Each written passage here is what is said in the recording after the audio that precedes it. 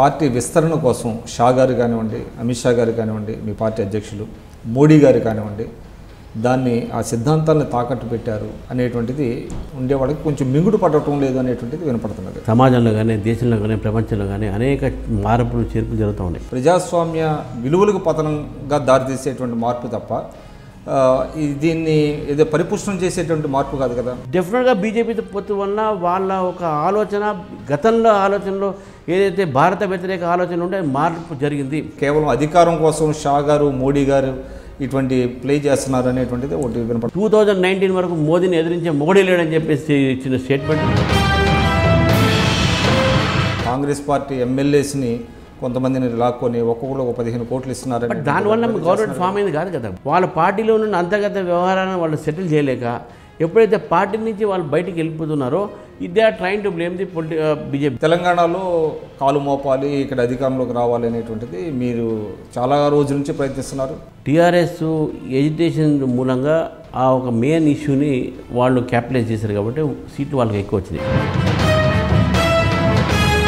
ప్రజలని దగ్గర అవటంలో చేరువు కావటంలో అసలు బీజేపీ ఈజ్ ది ఆల్టర్నేటివ్ అని చెప్పడంలో మీరు ఏ విధంగా సక్సెస్ సక్సీడ్ అయ్యారు? అరవై సంవత్సరాల కాంగ్రెస్ పరిపాలనలో వాళ్ళు చూడలేదు ప్రజలు. ఈరోజు మూడు సంవత్సరాల్లోనే ఆ ఒక పరిపాలన మార్పులు చూస్తున్నారు. మన అమిత్ షా గారు పర్యటన తర్వాత కొంచెం టీఆర్ఎస్ గవర్నమెంట్ మీదకి మీకు కొన్ని క్లాషెస్ అంటే డిఫరెన్స్ ఆఫ్ ఒపీనియన్స్ ఎస్పెషల్లీ తెలంగాణకు చేస్తున్న కేంద్రం చేస్తున్న సాయం గురించి కొంత అంబిగ్యూటీ నెలకొంది. కేంద్ర ప్రభుత్వం మాకు ఎటువంటి సహాయం చేయట్లేదు. కేంద్ర ప్రభుత్వం మాకు సహకారం అందించట్లేదు. ప్రతి దాంట్లో కేంద్ర ప్రభుత్వం మీద వాళ్ళు పడేది. మీకు ఫస్ట్ తెలంగాణ ఫారం అయినప్పటి నుంచి వెంకయ్యనాయుడు గారు ఆయన అర్బన్ మినిస్టర్గా ఉండి దిగిపోతా దిగిపోతా లాస్ట్ సంతకం ఆంధ్రాకి రెండు లక్షల ఇరవై ఐదు వేల ఇళ్ళు శాంక్షన్ చేశారు. బట్ ఒక్క ఇల్లు కూడా తెలంగాణకి ఇవ్వాలి. కేసీఆర్ కిట్ అని పెట్టారండి. ఒక సెవెన్ థౌజండ్ రూపీస్ దాకా రాష్ట్ర కేంద్ర ప్రభుత్వం ఇస్తుంది. ఈ పదమూడు వేలలో ఆ ఏడు వేలు కేంద్రం ఇస్తుంది అని చెప్పాలి ప్రజలకు. మోదీ ఫోటో పెట్టి పెట్టాలి అవి లేదే. కేవలం ఆయన బొమ్మ పెట్టుకొని మొత్తం నేనే చేస్తున్నా.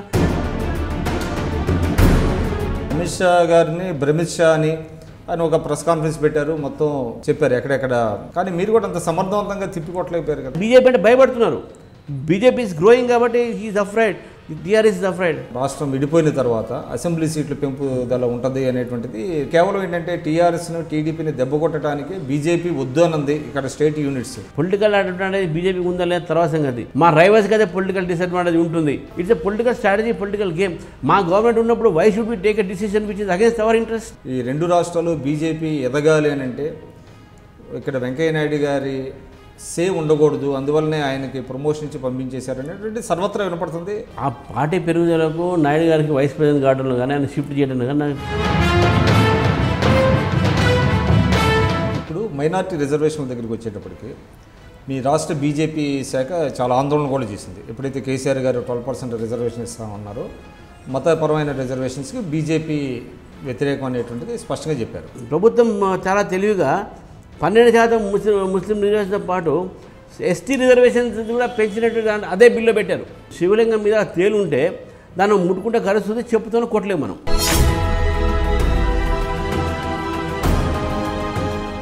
సీనియర్ బీజేపీ నేత ప్రముఖ న్యాయవాది ఎమ్మెల్సీ శ్రీ ఎన్ రామచంద్రరావు గారితో ఐడ్రీమ్ ఇంటర్వ్యూ. నమస్కారం రామచంద్రరావు గారు.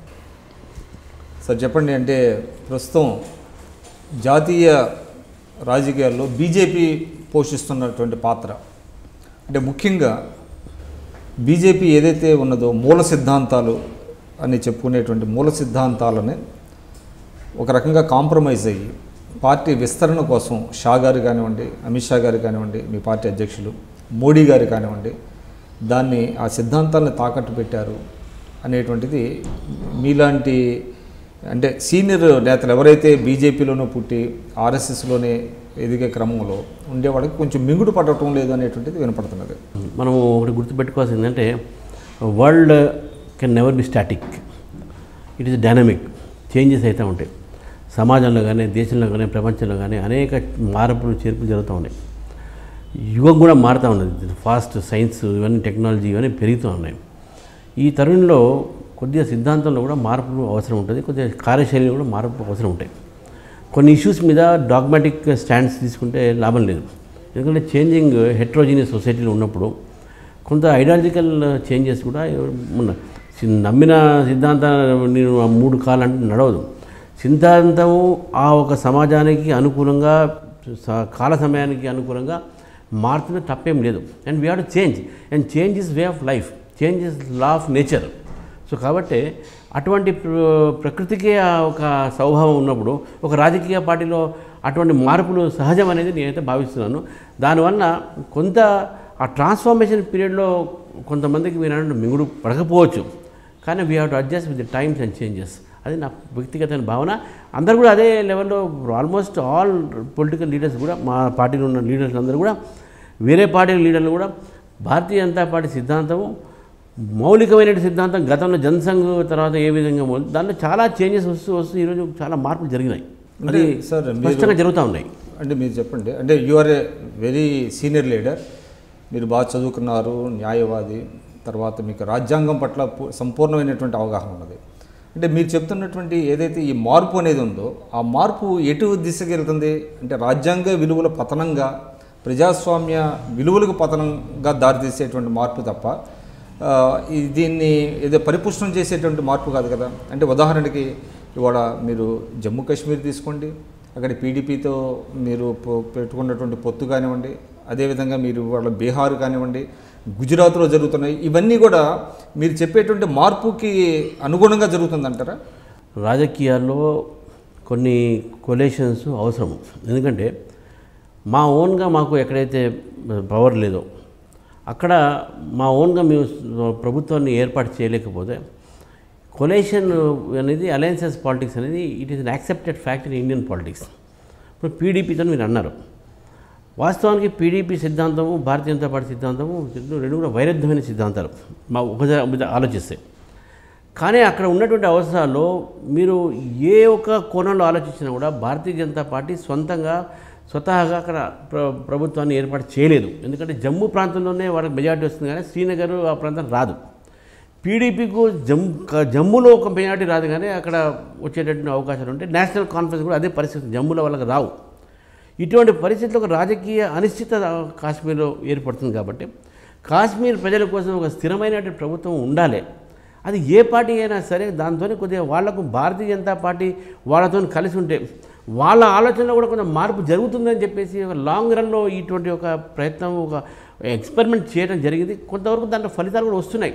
పీడీపీలో గతంలో ఉన్నటువంటి ఒక స్ట్రాంగ్ యాంటీ ఇండియా స్టాన్స్ ఏది ఉన్నదో దాంట్లో కొంచెం మార్పు జరిగింది. ఈ మధ్య కాలంలో ఇన్సిడెంట్స్లో కూడా మహబూబా గారు ఇచ్చినటువంటి ఒక వ్యాఖ్యలు కానీ మనం చూస్తూ ఉంటే కొంత ప్రో ఇండియా ట్రెండ్స్ ఈరోజు మీకు అక్కడ కనబడతా ఉన్నాయి. అనివార్యంగా జరుగుతుందంటారా? బీజేపీతో పొత్తు వల్ల? డెఫినెట్గా బీజేపీతో పొత్తు వలన వాళ్ళ ఒక ఆలోచన గతంలో ఆలోచనలో ఏదైతే భారత వ్యతిరేక ఆలోచన ఉంటే మార్పు జరిగింది ప్రజల్లో కూడా చిన్న చిన్నగా మార్పు జరుగుతున్నాయి అనేది స్పష్టంగా మనకు కనబడుతుంది. It is a good sign that even ideological polarize apart pole ఉన్నటువంటి ఒక పార్టీ పీడీపీతోని భారతీయ జనతా పార్టీ అలయన్స్ పెట్టుకుని కాశ్మీర్ ప్రజలకు ఒక నమ్మకాన్ని కలిగిస్తున్నాం అక్కడ. ఒక స్థిరమైనటువంటి ప్రభుత్వాన్ని మనం ఇవ్వగలుగుతున్నాం అక్కడ. ఈ స్థిరమైనటువంటి ప్రభుత్వాన్ని Bharatiya Janata Party is not an untouchable political party అనేది కూడా ఈరోజు మన స్పష్టంగా ఈరోజు కాశ్మీర్ అనేది ఒక ఎగ్జాంపుల్ దాంట్లో మీకు కాంప్రమైజ్ ఒక ఐడియాలజికల్ కాంప్రమైజ్ లేదు దాంట్లో. We still believe Kashmir is part of India that is our ideological stand it was maybe not start of PDP but now the PDP says we are part of India ఎంత పెద్ద మార్పు అని మీరు చెప్తున్నారు sir. అంటే F- మీరు మొట్టమొదటి నుంచి కూడా ఏం చెప్తున్నారు? Kashmir is the part and parts of India so once మేము కనుక అక్కడ అధికారంలోకి వస్తే ఏదైతే ఆర్టికల్ త్రీ సెవెంటీ ప్రకారం ప్రత్యేక ప్రతిపత్తి ఉందో దాన్ని ఎత్తివేయడానికి మేము ప్రయత్నిస్తాం అనేటువంటిది మీరు ఆల్ అలాంగ్ మీరు చెప్తానే వచ్చారు. అంటే రెండు వేల పద్నాలుగు ఎన్నికల ముందు కూడా బహుశా నాకు తెలిసి మీరు చెప్పారు. సో కానీ ఇప్పుడు దాన్ని చాలా కన్వీనియంట్గా పక్కన పెట్టేసి అంటే అక్కడ పీడీపీ చాలా చాలా స్పష్టంగా చెప్పింది. Once three article three seventy ప్రకారం ఏదైతే ప్రత్యేక ప్రతిపత్తి ఎంజాయ్ చేస్తున్నాము దాన్ని కనుక మీరు తొలగించినట్లయితే ఇవాళ ఇక్కడ త్రివర్ణ పతాకాన్ని పట్టుకునే వాళ్ళే ఉండరు అనేటువంటి టు దట్ ఎక్స్టెంట్ కూడా వెళ్ళి ముఫ్తీ మహమ్మద్ సయీద్ గారు చెప్పారు. తర్వాత వాడి కుమార్తె ఆయన కుమార్తె చెప్తున్నారు. సో మెహబూబా కానీ మీరు ఎటు మాట్లాడలేనటువంటి పరిస్థితి ఆ పార్టీతో పొత్తు పెట్టుకున్నటువంటి పరిస్థితి ఇప్పుడు ప్రతిపత్తి ఉంటుందా తీసేయాలనే దాని మీద అసలు ఎక్కడ లేదు. అంటే ఈ రకమైనటువంటి ఎన్నికల ముందు ఒకటి చెప్తున్నారు బీజేపీ కూడా. కానీ అధికారంలోకి వచ్చిన తర్వాత ఒకటి చెప్తున్నారు అనేటువంటిది. చాలామందిలో అంటే ఓల్డ్ టైమర్స్లో కూడా ఈ రకమైనటువంటి చర్నింగ్ ఉన్నది పార్టీలో అనేటువంటిది వినపడుతుంది. నేను ఫస్టే చెప్పాను. రెండు సైద్ధాంతిక వైరుద్ధమైనటువంటి రెండు పార్టీలు కలిసినప్పుడు కొన్ని కామన్ మినిమం ప్రోగ్రామ్స్ ఉంటాయి. బేసిక్ ఐడియాలజికల్గా ఏవైతే basic ideology Bharatiya Janata Party అది ఉన్నది. కానీ ఒక పార్టీతో కలిసినప్పుడు కొన్ని ఆ ఒక పార్టీ ఇతర పార్టీ కలిసేటటువంటి దాంట్లో వాళ్ళకు కొన్ని అభ్యంతరాలు ఉంటే ఆ అభ్యంతరాలని అక్కడ తీసుకురాము. కాన్ contentious issues and controversial issues we don't want bring where it is going to break the alliance అదేవిధంగా మహబూబా గారి పార్టీలో కూడా కొన్ని అంశాలు భారతీయ జనతా పార్టీకి అభ్యంతరాలు అవి కూడా వాళ్ళు తీసుకురావద్దు. కాబట్టి ఒక కామన్ మినిమం ప్రోగ్రామ్ ద్వారా ఈ రెండు పార్టీలు కలిసిన సందర్భంగా article three seventy has gone back side article three seventy ఏది అవ దాన్ని ఏది అబాలిష్ చేయాల్సినటువంటి ఉందో ఎత్తివేయాలనేటువంటి ఆలోచన ఈరోజు భారతీయ జనతా పార్టీ మేనిఫెస్టోలో ఇది మొదటిగా ఉంది and we we are far it will stand కానీ మేము బలవంతంగా కానీ దాన్ని we don't not impose on the people of Kashmir we want to change their mind set చిన్నగా మేము ప్రయత్నం చేసి వాళ్ళ ద్వారా అది మేము ప్రయత్నం చేస్తున్నాము and it is working out today చాలామంది కాశ్మీర్ నాయకులు కూడా ఆర్టికల్ త్రీ సెవెంటీ వల్ల we feel alienated from our main land అనే ఒక భావన ఉన్నది. అది చిన్నగా మార్పు తీసుకొస్తాము. డెఫినెట్లీ లాంగ్ రన్లో we are going to have such type of situation in Kashmir అని నాకు నమ్మకం ఉన్నది.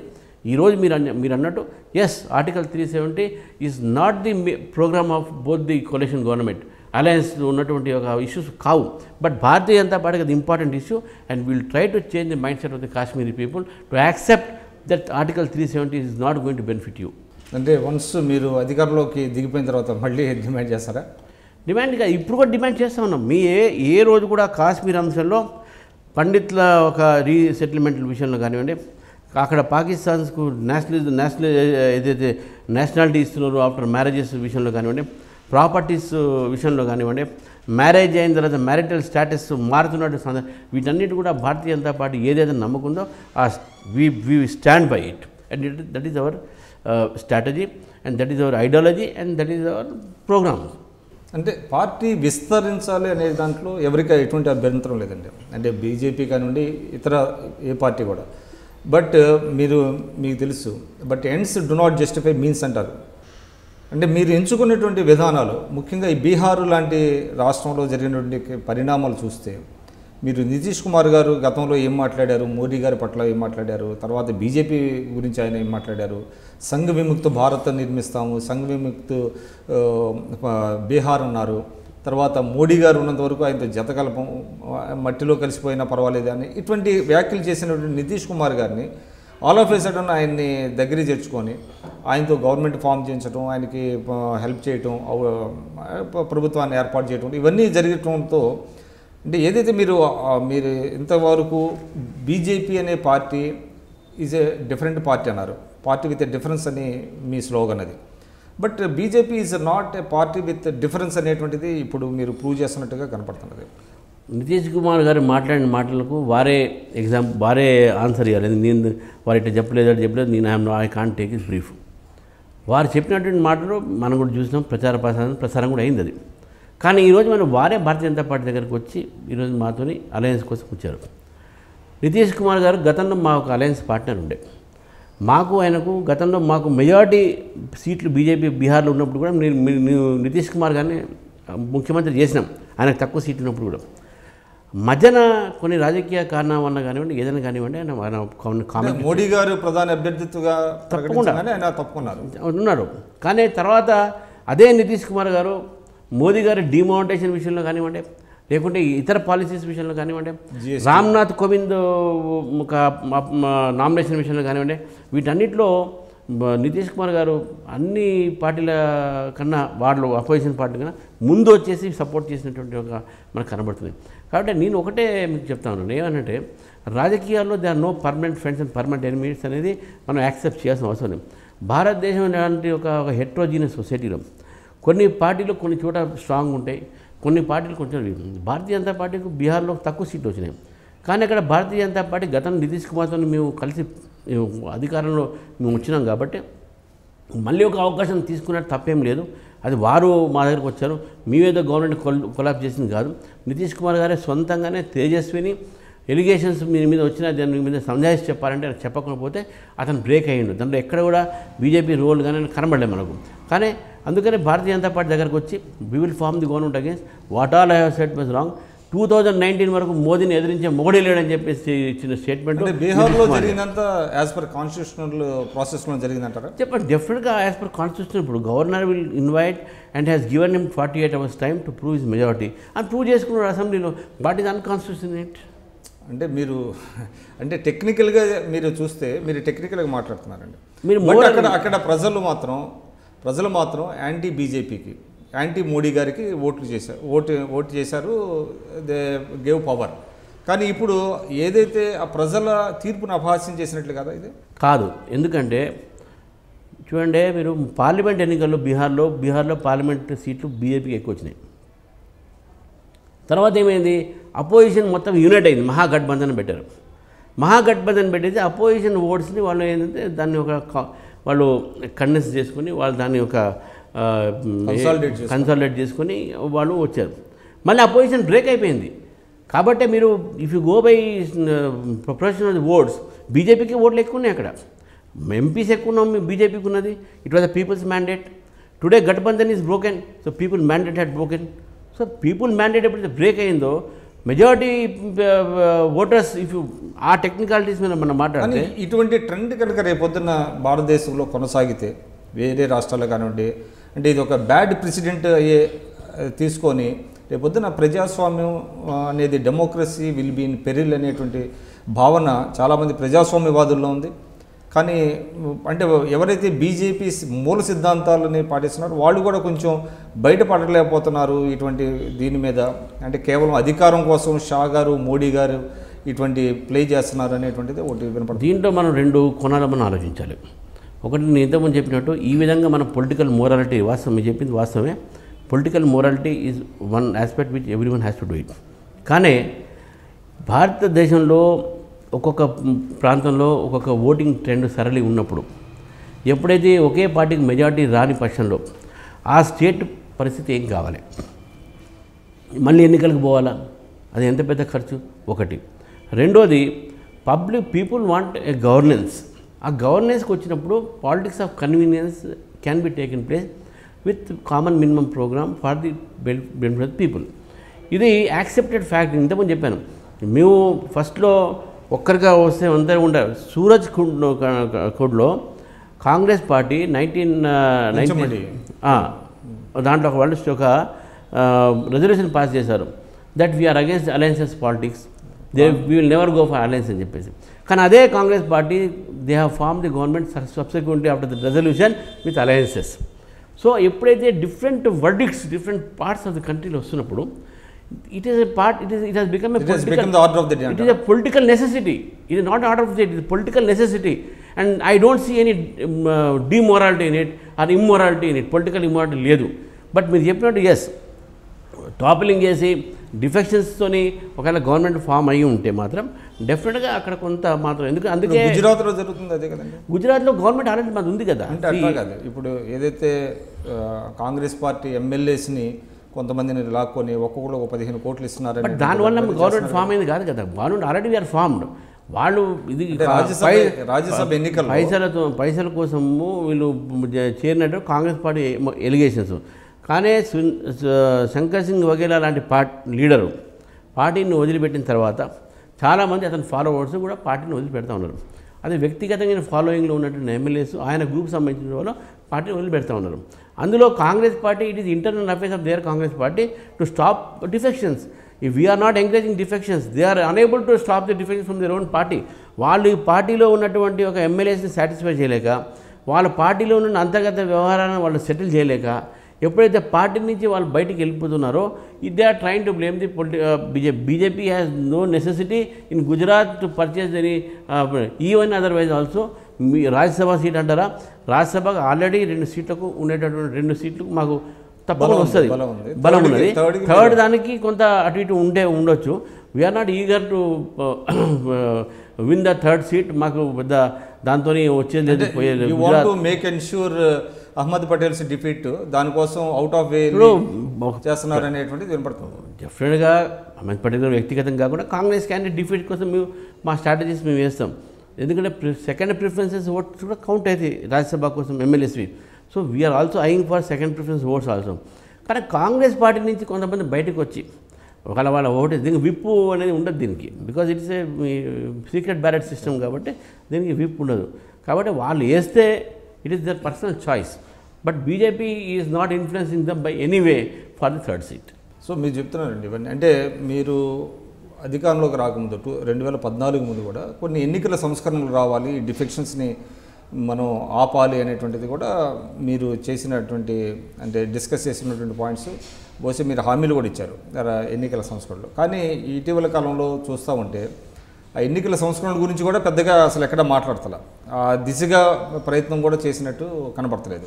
సరే అది ఒక ఆస్పెక్ట్ చూద్దామండి అంటే మన స్టేట్ విషయానికి వస్తే అంటే తెలుగు రాష్ట్రాలు ఎస్పెషల్లీ తెలంగాణ. తెలంగాణలో కాలు మోపాలి ఇక్కడ అధికారంలోకి రావాలి అనేటువంటిది మీరు చాలా రోజుల నుంచి ప్రయత్నిస్తున్నారు. సరే రాష్ట్రానికి తెలంగాణకి సపోర్ట్ చేసిన విషయంలో మీరు కూడా అధికారంలోకి వస్తారనేటువంటిది కొంత అనుకున్నారు మీరు రెండు వేల పద్నాలుగులో. కానీ అది కుదరలేదు. ఇప్పుడు ఏమైనా ఛాన్సెస్ మెరుగుపడినాయి అంటారా? డెఫినెట్గా ఇప్పుడు టూ థౌజండ్ ఫోర్టీన్ ఎన్నికల్లో కూడా ఇప్పుడు భారతీయ జనతా పార్టీ ఆ రోజు ఉన్నటువంటి పరిస్థితిలో టీఆర్ఎస్ ఎడ్యుకేషన్ మూలంగా ఆ ఒక మెయిన్ ఇష్యూని వాళ్ళు క్యాపిటలైజ్ చేశారు కాబట్టి సీట్లు వాళ్ళకి ఎక్కువ వచ్చినాయి. కానీ పెద్ద మార్జిన్ ఏం రాలే వాళ్ళకు కూడా. సిక్స్టీ త్రీ సీట్స్ మాత్రమే వచ్చినాయి. అంటే వన్ హండ్రెడ్ నైంటీలో సిక్స్టీ త్రీ అంటే almost fifty one fifty two percent మాత్రమే. అంటే మిగతా మెజారిటీ వచ్చింది. వచ్చింది. భారతీయ జనతా పార్టీ ఐదు సీట్లు మేము గెలిచాం. తొమ్మిది స్థానాల్లో మీ సెకండ్ ప్లేస్ వచ్చి నేను కూడా చాలా నేరంలో మలకై ఓడిపోయినాం. మహబూబ్ నగర్ చాలా నేరంలో పోయింది. ఈ విధంగా చాలా సీట్లను మీ నేరంలో వచ్చి ఓడిపోయినటువంటి పరిస్థితి ఉన్నది అక్కడ. టూ థౌజండ్ ఫోర్టీన్ ఎన్నికలు అది it was a sentimental elections కాబట్టి టీఆర్ఎస్ గాట్ బెనిఫిటెడ్ విత్ కానీ దాని తర్వాత టీఆర్ఎస్ గవర్నమెంట్ పర్ఫార్మెన్స్ ఈ మూడు సంవత్సరాల్లో ఇక్కడ ప్రజల్లో ఒక ఆకాంక్షలు. ముఖ్య ముఖ్యంగా యువకులు ఉద్యోగాలకు సంబంధించిన విషయంలో లక్షలాది ఉద్యోగాలు మాకు వచ్చేస్తాయని చెప్పి యువత ఏదైతే ఆశించినో అవి రాకపోవటం ఒకటి. తర్వాత ఈ యొక్క ప్రభుత్వం తీసుకున్నటువంటి కొన్ని నిర్ణయాల వలన వేస్ట్ఫుల్ ఎక్స్పెండిచర్ ఎక్కువ కనబడుతుంది అనేది స్పష్టంగా కనబడుతుంది ఇక్కడ. తర్వాత ఏ మార్పులు అయితే జరగాలో ఏవైతే అందరూ మార్పులు కోరారో అది తెలంగాణ వచ్చిన తర్వాత కనబడట్లేదని చెప్పి ప్రజలు స్లోగా బయలుదేరింది. కాబట్టి ఈ యొక్క ప్రభుత్వం మీద ఈ యొక్క నాయకుల మీద ప్రజలకు విశ్వాసం పోయింది. కాంగ్రెస్ పార్టీ వాళ్ళకు ఉన్నటువంటి అంతర్గత వ్యవహారాలతో వాళ్ళు బాగా బిజీ ఉన్నారు. కాబట్టి ఒక రాజకీయ ప్రత్యామ్నాయంగా భారతీయ జనతా పార్టీ ఉంది. అమిత్ షా గారి మూడు మీటింగ్లు కూడా వచ్చిన తర్వాత ఇక్కడ చాలా బ్రహ్మాండమైనటువంటి పార్టీ పార్టీలు కార్యకర్తల్లో శ్రేణిలో ఒక ఉత్సాహము డెఫినెట్గా ఆ ఒక హై మొరేల్ ఉన్నది ఇప్పుడు. గతంలో మొరేల్ కన్నా ఇప్పుడు మొరేల్ చాలా ఎక్కువ ఉంది. అండ్ డెఫినెట్గా ప్రతి స్థానంలో కూడా మా ఒక నాయకత్వం పెరుగుతూ ఉన్నది. మా ఓట్ షేరు పెరుగుతున్నది అనే విషయం కూడా మా మేము మా ఒక ఓన్ సర్వేలో కూడా బయటపడుతూ ఉన్నాయి. కాబట్టి డెఫినెట్గా టూ థౌజండ్ నైన్టీన్లో ఇది change will there. Two thousand fourteen cannot be yardstick for it two thousand nineteen is uh, అంటే what is the qualitative change అండి అంటే? మీరు చెప్పారు అంటే నాకు తెలిసి రెండు వేల పద్నాలుగులో సరే మీరు చెప్పారు కొన్ని తప్పులు మీ సైడ్ నుంచి కూడా జరిగింది అంటే ఎస్పెషల్లీ అప్పుడు నాయకత్వంలో కొన్ని సీట్లు ఖరారు చేయడంలో కొన్ని తప్పులు జరిగినాయి అనేటువంటిది కూడా ఉన్నారు. దానికి కిషన్ రెడ్డి గారు బాధ్యులు అనేటువంటిది కొంతమంది నాయకులు ఆన్ రికార్డు కానివ్వండి ఆఫ్ రికార్డు కానీ చెప్పారు. తర్వాత సబ్సిక్వెంట్గా ఆయన నాయకత్వాన్ని పక్కన పెట్టి లక్ష్మణ్ గారిని తీసుకొచ్చారు. సో ఇదంతా కొంత మార్పులు మీరు సంస్థాగతంగా చేసుకోగలిగారు. కానీ ప్రజలని దగ్గర అవటంలో చేరువు కావటంలో అసలు బీజేపీ ఈజ్ ది ఆల్టర్నేటివ్ అని చెప్పడంలో మీరు ఏ విధంగా సక్సెస్ సక్సీడ్ అయ్యారు? ఇప్పుడు మీరు రెండో విషయాలు క్లారిఫై చేయాల్సిన అవసరం ఉంటుంది. కిషన్ రెడ్డి గారు అధ్యక్షుడు ఉన్నప్పుడు సీట్ల విషయంలో మేము కొంత మేము బార్గెన్ చేసినాము. టీడీపీతో కొన్ని సీట్లు మేము అనుకునేది రాలేదు. దాంట్లో అలయన్స్ ఉండాలి ఉండొద్దు అని డెఫినెట్గా పొలిటికల్ పార్టీలో రెండు అభిప్రాయాలు ఉంటాయి. తప్పేం లేదు కానీ కిషన్ రెడ్డి గారే బాధ్యత వహించాలి తప్పు ఎందుకంటే ఈ సమస్య మా పార్టీలో అంతా కూడా ఇట్స్ ఎ కరెక్టివ్ డిసిషన్ తీసుకున్నాం కాబట్టి you can't blame Kishan Reddy alone ఒకటి. తర్వాత కిషన్ రెడ్డి గారి ప్రకారం పెట్టేసి లక్ష్మణ్ గారు తీసుకువచ్చింది కాదు అక్కడ. కిషన్ రెడ్డి గారి కాన్స్టిట్యూషన్ ప్రకారం మా బీజేపీ కాన్స్టిట్యూషన్ టూ టర్మ్స్ కన్నా ఎక్కువ ప్రెసిడెంట్ ఎవరు ఉండకూడదు. లక్ష్మణ్ గారు తీసుకొచ్చారు. కిషన్ రెడ్డి గారు కానీ లక్ష్మణ్ గారు కానీ ఇద్దరు కూడా they are top senior leaders of our party and we respect them and their leadership is very important for us ఈరోజు కూడా లక్ష్మణ్ గారు విషయం కానివ్వండి కిషన్ రెడ్డి గారు ఇవన్నీ పక్క పెడితే ఈరోజు మీరు ఏ గ్రామానికి పోయినా కార్యకర్తల్లో ఒక నూతన ప్రజల్లో కూడా ఏంటంటే బీజేపీ ఒక మంచి పని చేస్తుంది. ముఖ్యంగా మోదీ గారి యొక్క పరిపాలన. వారు చేస్తున్నటువంటి స్కీమ్స్ ద్వారా కానీ లేకుంటే మోదీ గారి యొక్క ఏవైతే ఇనిషియేటివ్స్ అయితే ఉన్నాయో ఆ ఇనిషియేటివ్ వల్ల ప్రజల్లో కూడా ఏంటంటే ఒక ఫస్ట్ బేసిక్గా ఏంటంటే ఒక కరప్షన్ ఫ్రీ కూడా వచ్చింది ఒకటి. తర్వాత is trying to clean the economic రిమా reforms తీసుకు ఆర్థిక సంస్కరణ తీసుకొస్తున్న ఒక ప్రయత్నం చేస్తుంది ఒకటి.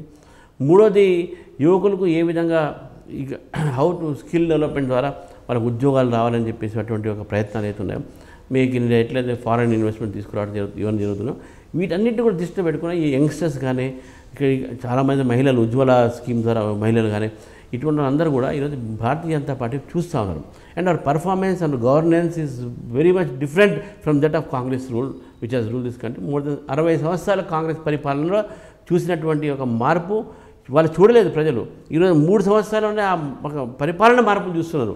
దాని యొక్క ఫలితాలు త్వరలోనే మనం చూడబోతున్నాం. కాబట్టి దాని యొక్క ఇంపాక్ట్ కూడా ఈరోజు తెలంగాణ ప్రజల్లో ఉన్నది. ముఖ్యంగా పొలిటికల్ పార్టీకి యాంటీ ఇన్కంబెన్సీ రూలింగ్ పార్టీకి ఇంత తొందరగా వస్తుంది మేము కూడా ఊహించలేదు. తర్వాత బీజేపీ మీరు ఈ అంటే ఎందుకు వస్తుంది? అంటే BJP is not a ours party in Telangana.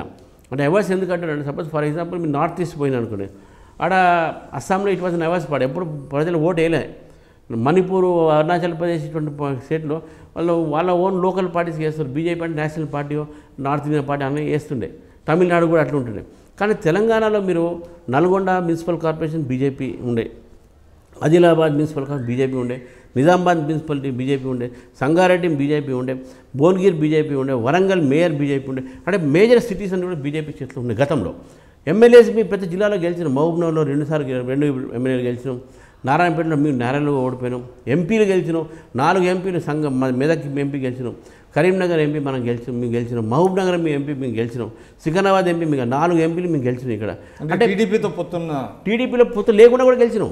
TD టీడీపీతో పొత్తు లేకుండా కూడా ఆ రోజు టూ థౌజండ్ ఎలక్షన్స్లో నైన్టీన్ నైంటీ సెవెన్ ఎలక్షన్స్లో we have won on our own four seats in Telangana area Hyderabad Karimnagar Medak అప్పుడు నరేంద్ర గారు మన దత్తాత్రేయ గారు విద్యాసాగర్ రావు గారు వీళ్ళంతా అప్పుడు గెలిచారు. మళ్ళీ తర్వాత టీడీపీ పొత్తు నైంటీ ఎయిట్లో. మళ్ళీ వాజ్పేయి గారు థర్టీన్ డేస్ గవర్నమెంట్ పడిపోయిన తర్వాత పొత్తు అని జరిగినాయి.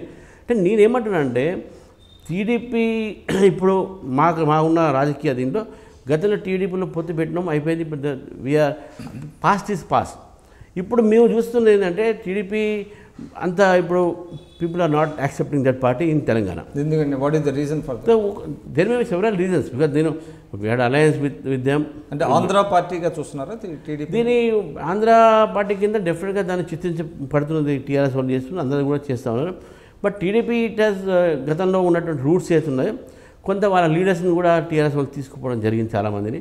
చాలామంది ఇతర ఇతర పార్టీలు వాళ్ళ లీడర్షిప్ అనేది వాళ్ళు కూడా they are not able to find Chandrababu Naidu గారి లీడర్షిప్ వాళ్ళకి లేదు అనేది వాళ్ళు భావిస్తున్నారు. కొంత వీకనింగ్ అయిపోయింది. అండ్ యాజ్ యూ సెట్ కొంత ఆంధ్ర పార్టీగా కొద్దిగా టీఆర్ఎస్ పార్టీ కూడా దాన్ని బాగా చిత్రించడం జరిగింది. I can't comment on TDP's negative side మాకు అక్కడ తెలుగు రాష్ట్రాలని చెప్పారు కాబట్టి అక్కడ మాకు కొలేషన్ ఉన్నారు. But what are it Telangana వరకు వచ్చే వరకు మాత్రం TDP is no more a force to reckon with ఇంతమంది ఉండే. అంటే no more a force no more no more force reckon with so BJP కూడా ఆ ఆ స్పేస్ని కూడా బీజేపీ తీసుకుంటుంది. అనేది మా నమ్మకం ఉన్నది ఈరోజు. ఇది ఒకటి తర్వాత గతంలో కొన్ని ఎక్కువ కార్యకర్తలు ఇప్పుడు చాలా ఉత్సాహంతో పనిచేస్తున్నారు. మోదీ గారి యొక్క నాయకత్వం అమిత్ షా గారి యొక్క ఎంకరేజ్మెంట్తో ఇప్పుడు మీరు చూడండి మన దీన్ దయాళ్ ఉపాధ్యాయ విస్తార కార్యయోజన.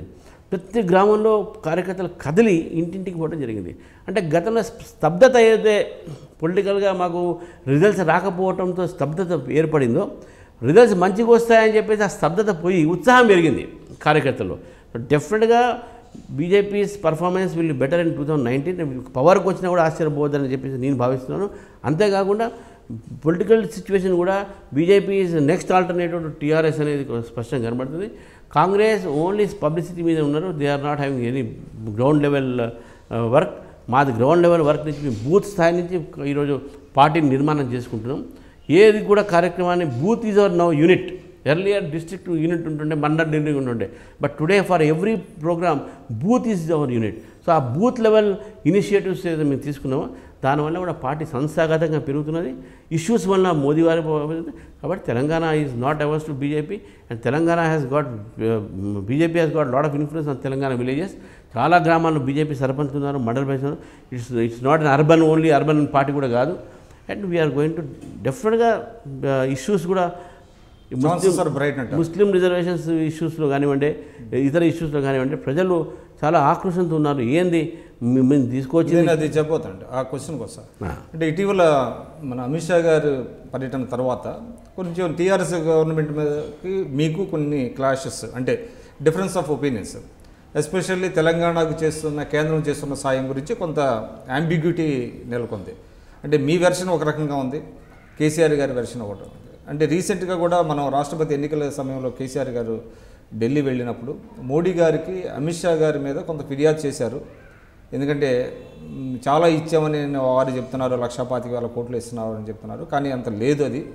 మా రాష్ట్రం నుంచి ఏడాదికి యాభై రెండు మూడు యాభై రెండు మూడు వేల కోట్లు వెళ్తా ఉంటే మాకు వచ్చేది ఇరవై ఐదు వేల కోట్లు అనేటువంటిది చెప్తున్నారు. దానికి మోడీ గారు ఏమీ పెద్దగా మాట్లాడలేదు అనేటువంటిది కూడా రెండు మూడు రోజుల క్రితం మనకు న్యూస్ పేపర్స్లో చూసాం.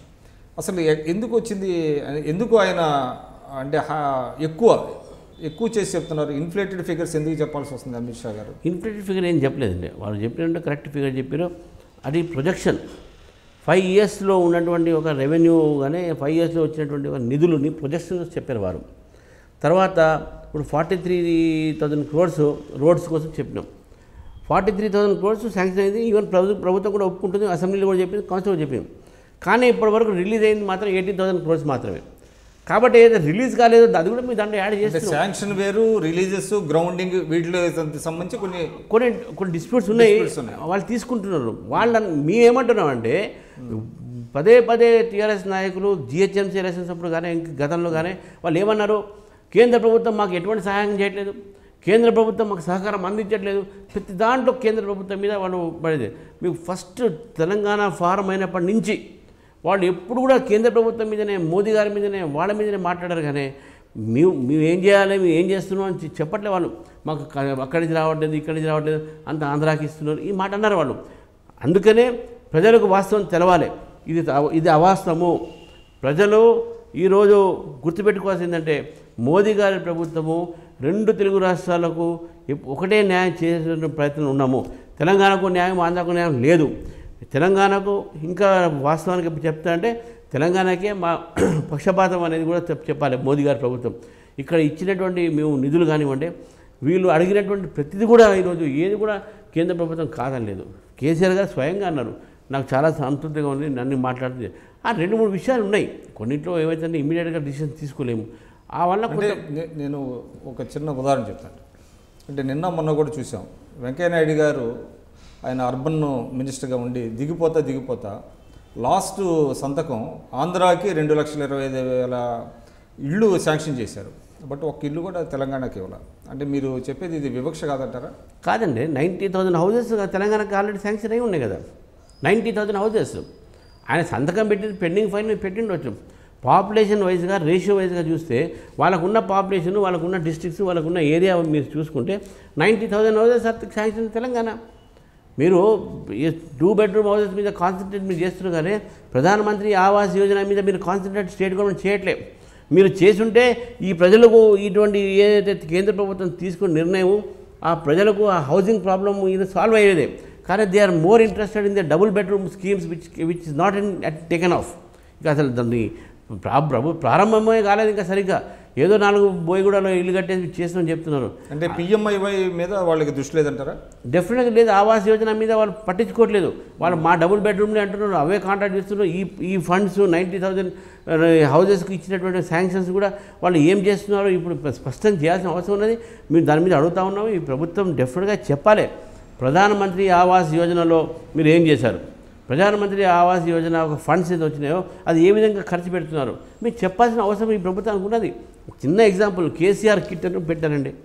కేసీఆర్ కిట్లో దాదాపు ఒక సెవెన్ థౌజండ్ రూపీస్ దాకా రాష్ట్ర కేంద్ర ప్రభుత్వం ఇస్తుంది. రాష్ట్ర ప్రభుత్వం దాంట్లో ఆరు వేలు యాడ్ చేసుకున్నది.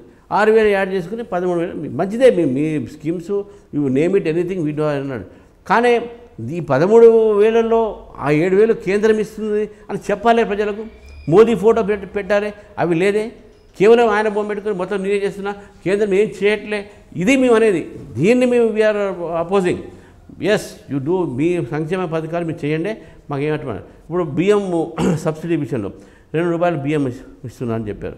దాంట్లో ట్వంటీ థర్టీ రూపీస్ బియ్యం కిలో ఉంటే థర్ twenty seven rupees central government subsidy అండి.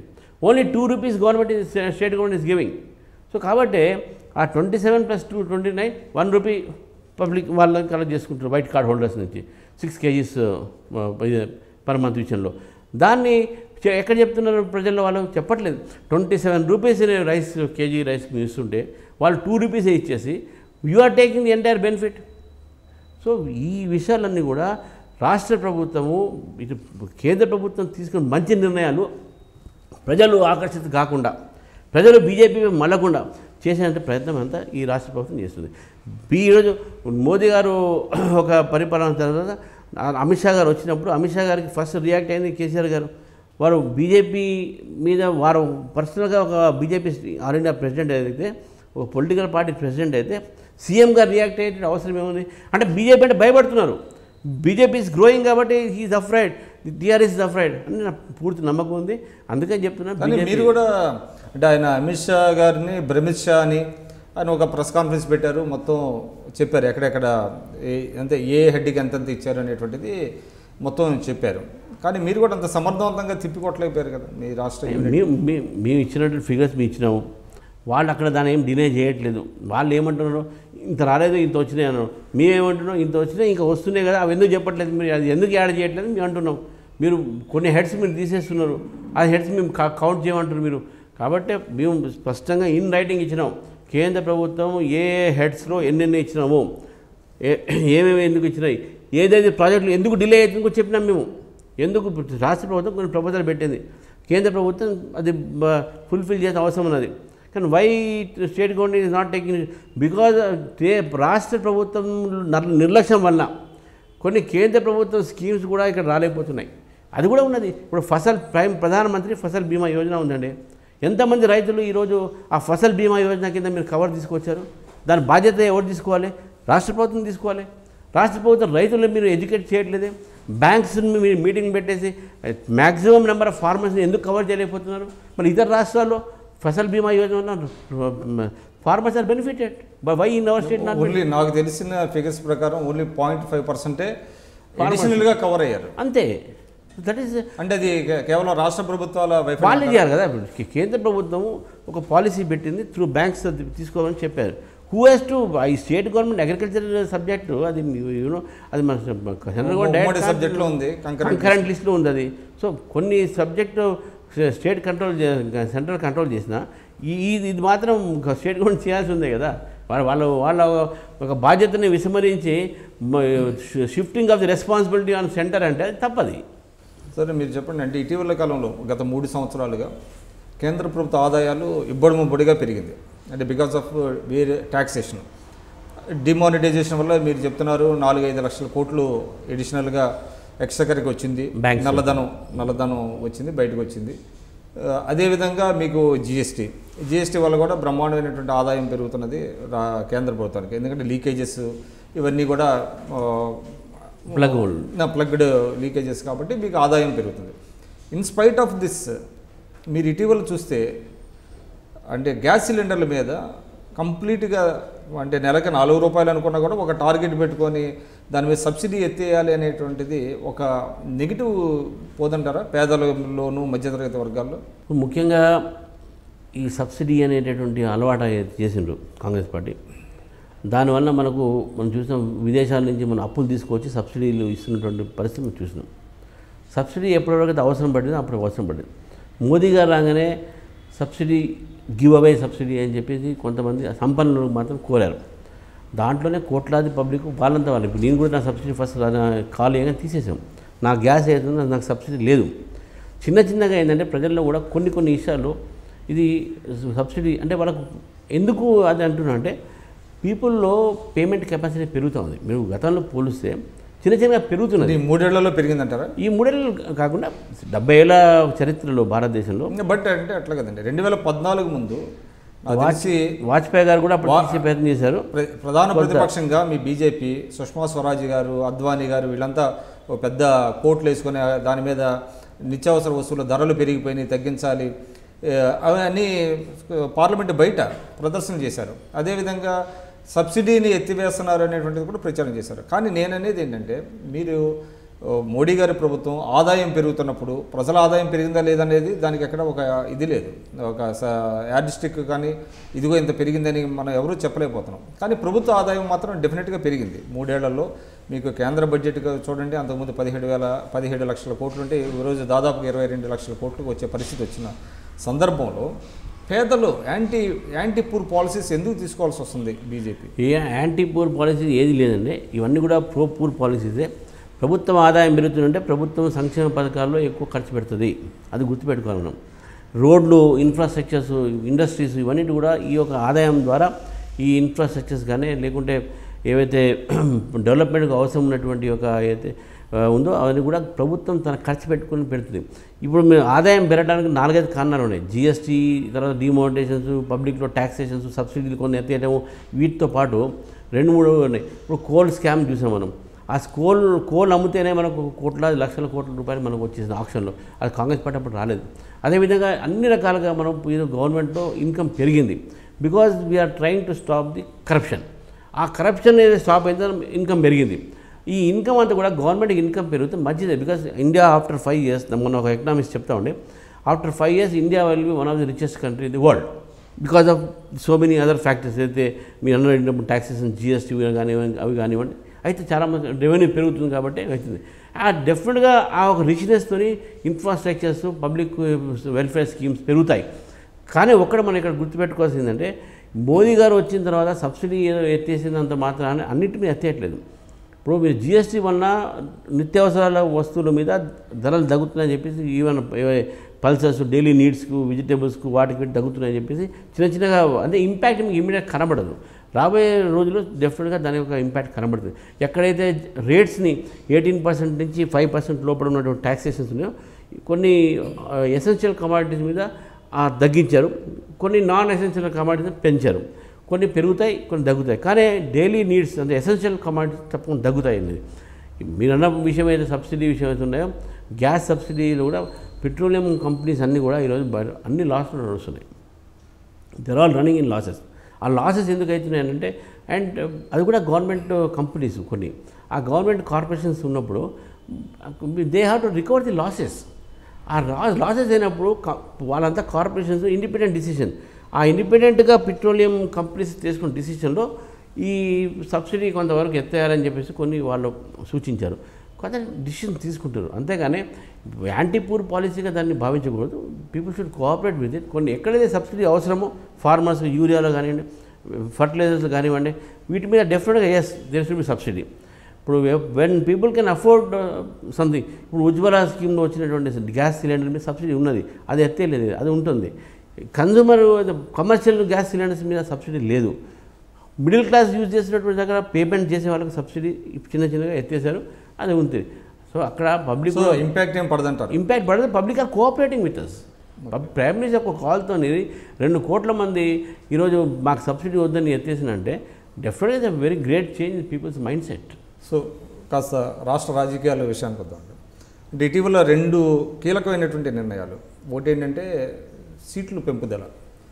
ఏదైతే మనం రాష్ట్రం విడిపోయిన తర్వాత అసెంబ్లీ సీట్ల పెంపుదల ఉంటుంది అనేటువంటిది టీఆర్ఎస్ కానివ్వండి ఇటు టీడీపీ కానివ్వండి దేవర్ పిన్నింగ్ హోప్స్ తర్వాత దానికి అనుగుణంగానే అక్కడ వెంకయ్యనాయుడు గారు కొంత దాన్ని ముందుకు తీసుకెళ్తున్నారా బిల్లు పాస్ అవుతుంది అనేటువంటిది ఒక క్రియేట్ అయింది. మీడియాలో కానివ్వండి వాళ్ళ దీంట్లో కానివ్వండి. కానీ ఆల్ ఆఫ్ ఏ సడన్ ఇప్పుడు ఈ అంటే వన్స్ ఫర్ ఆల్ ఇప్పట్లో దాదాపుగా రెండు వేల ఇరవై తొమ్మిది వరకు కూడా ఇటువంటి పెంపుదల ఉండదు అనేటువంటిది చెప్పేశారు. కానీ ఇది ఒక పొలిటికల్ డెసిషను దీన్ని కేవలం ఏంటంటే టీఆర్ఎస్ను టీడీపీని దెబ్బకొట్టడానికి బీజేపీ వద్దు అన్నది ఇక్కడ state units Telangana state unit కానివ్వండి ఆంధ్ర స్టేట్ యూనిట్ కానివ్వండి మీ యొక్క ప్రెషర్ వల్లనే అక్కడ ఆపేశారు. ఎందుకంటే రాజ్నాథ్ సింగ్ గారు కూడా చెప్పారు ఇది ఒక పొలిటికల్ డెసిషన్ అనేది.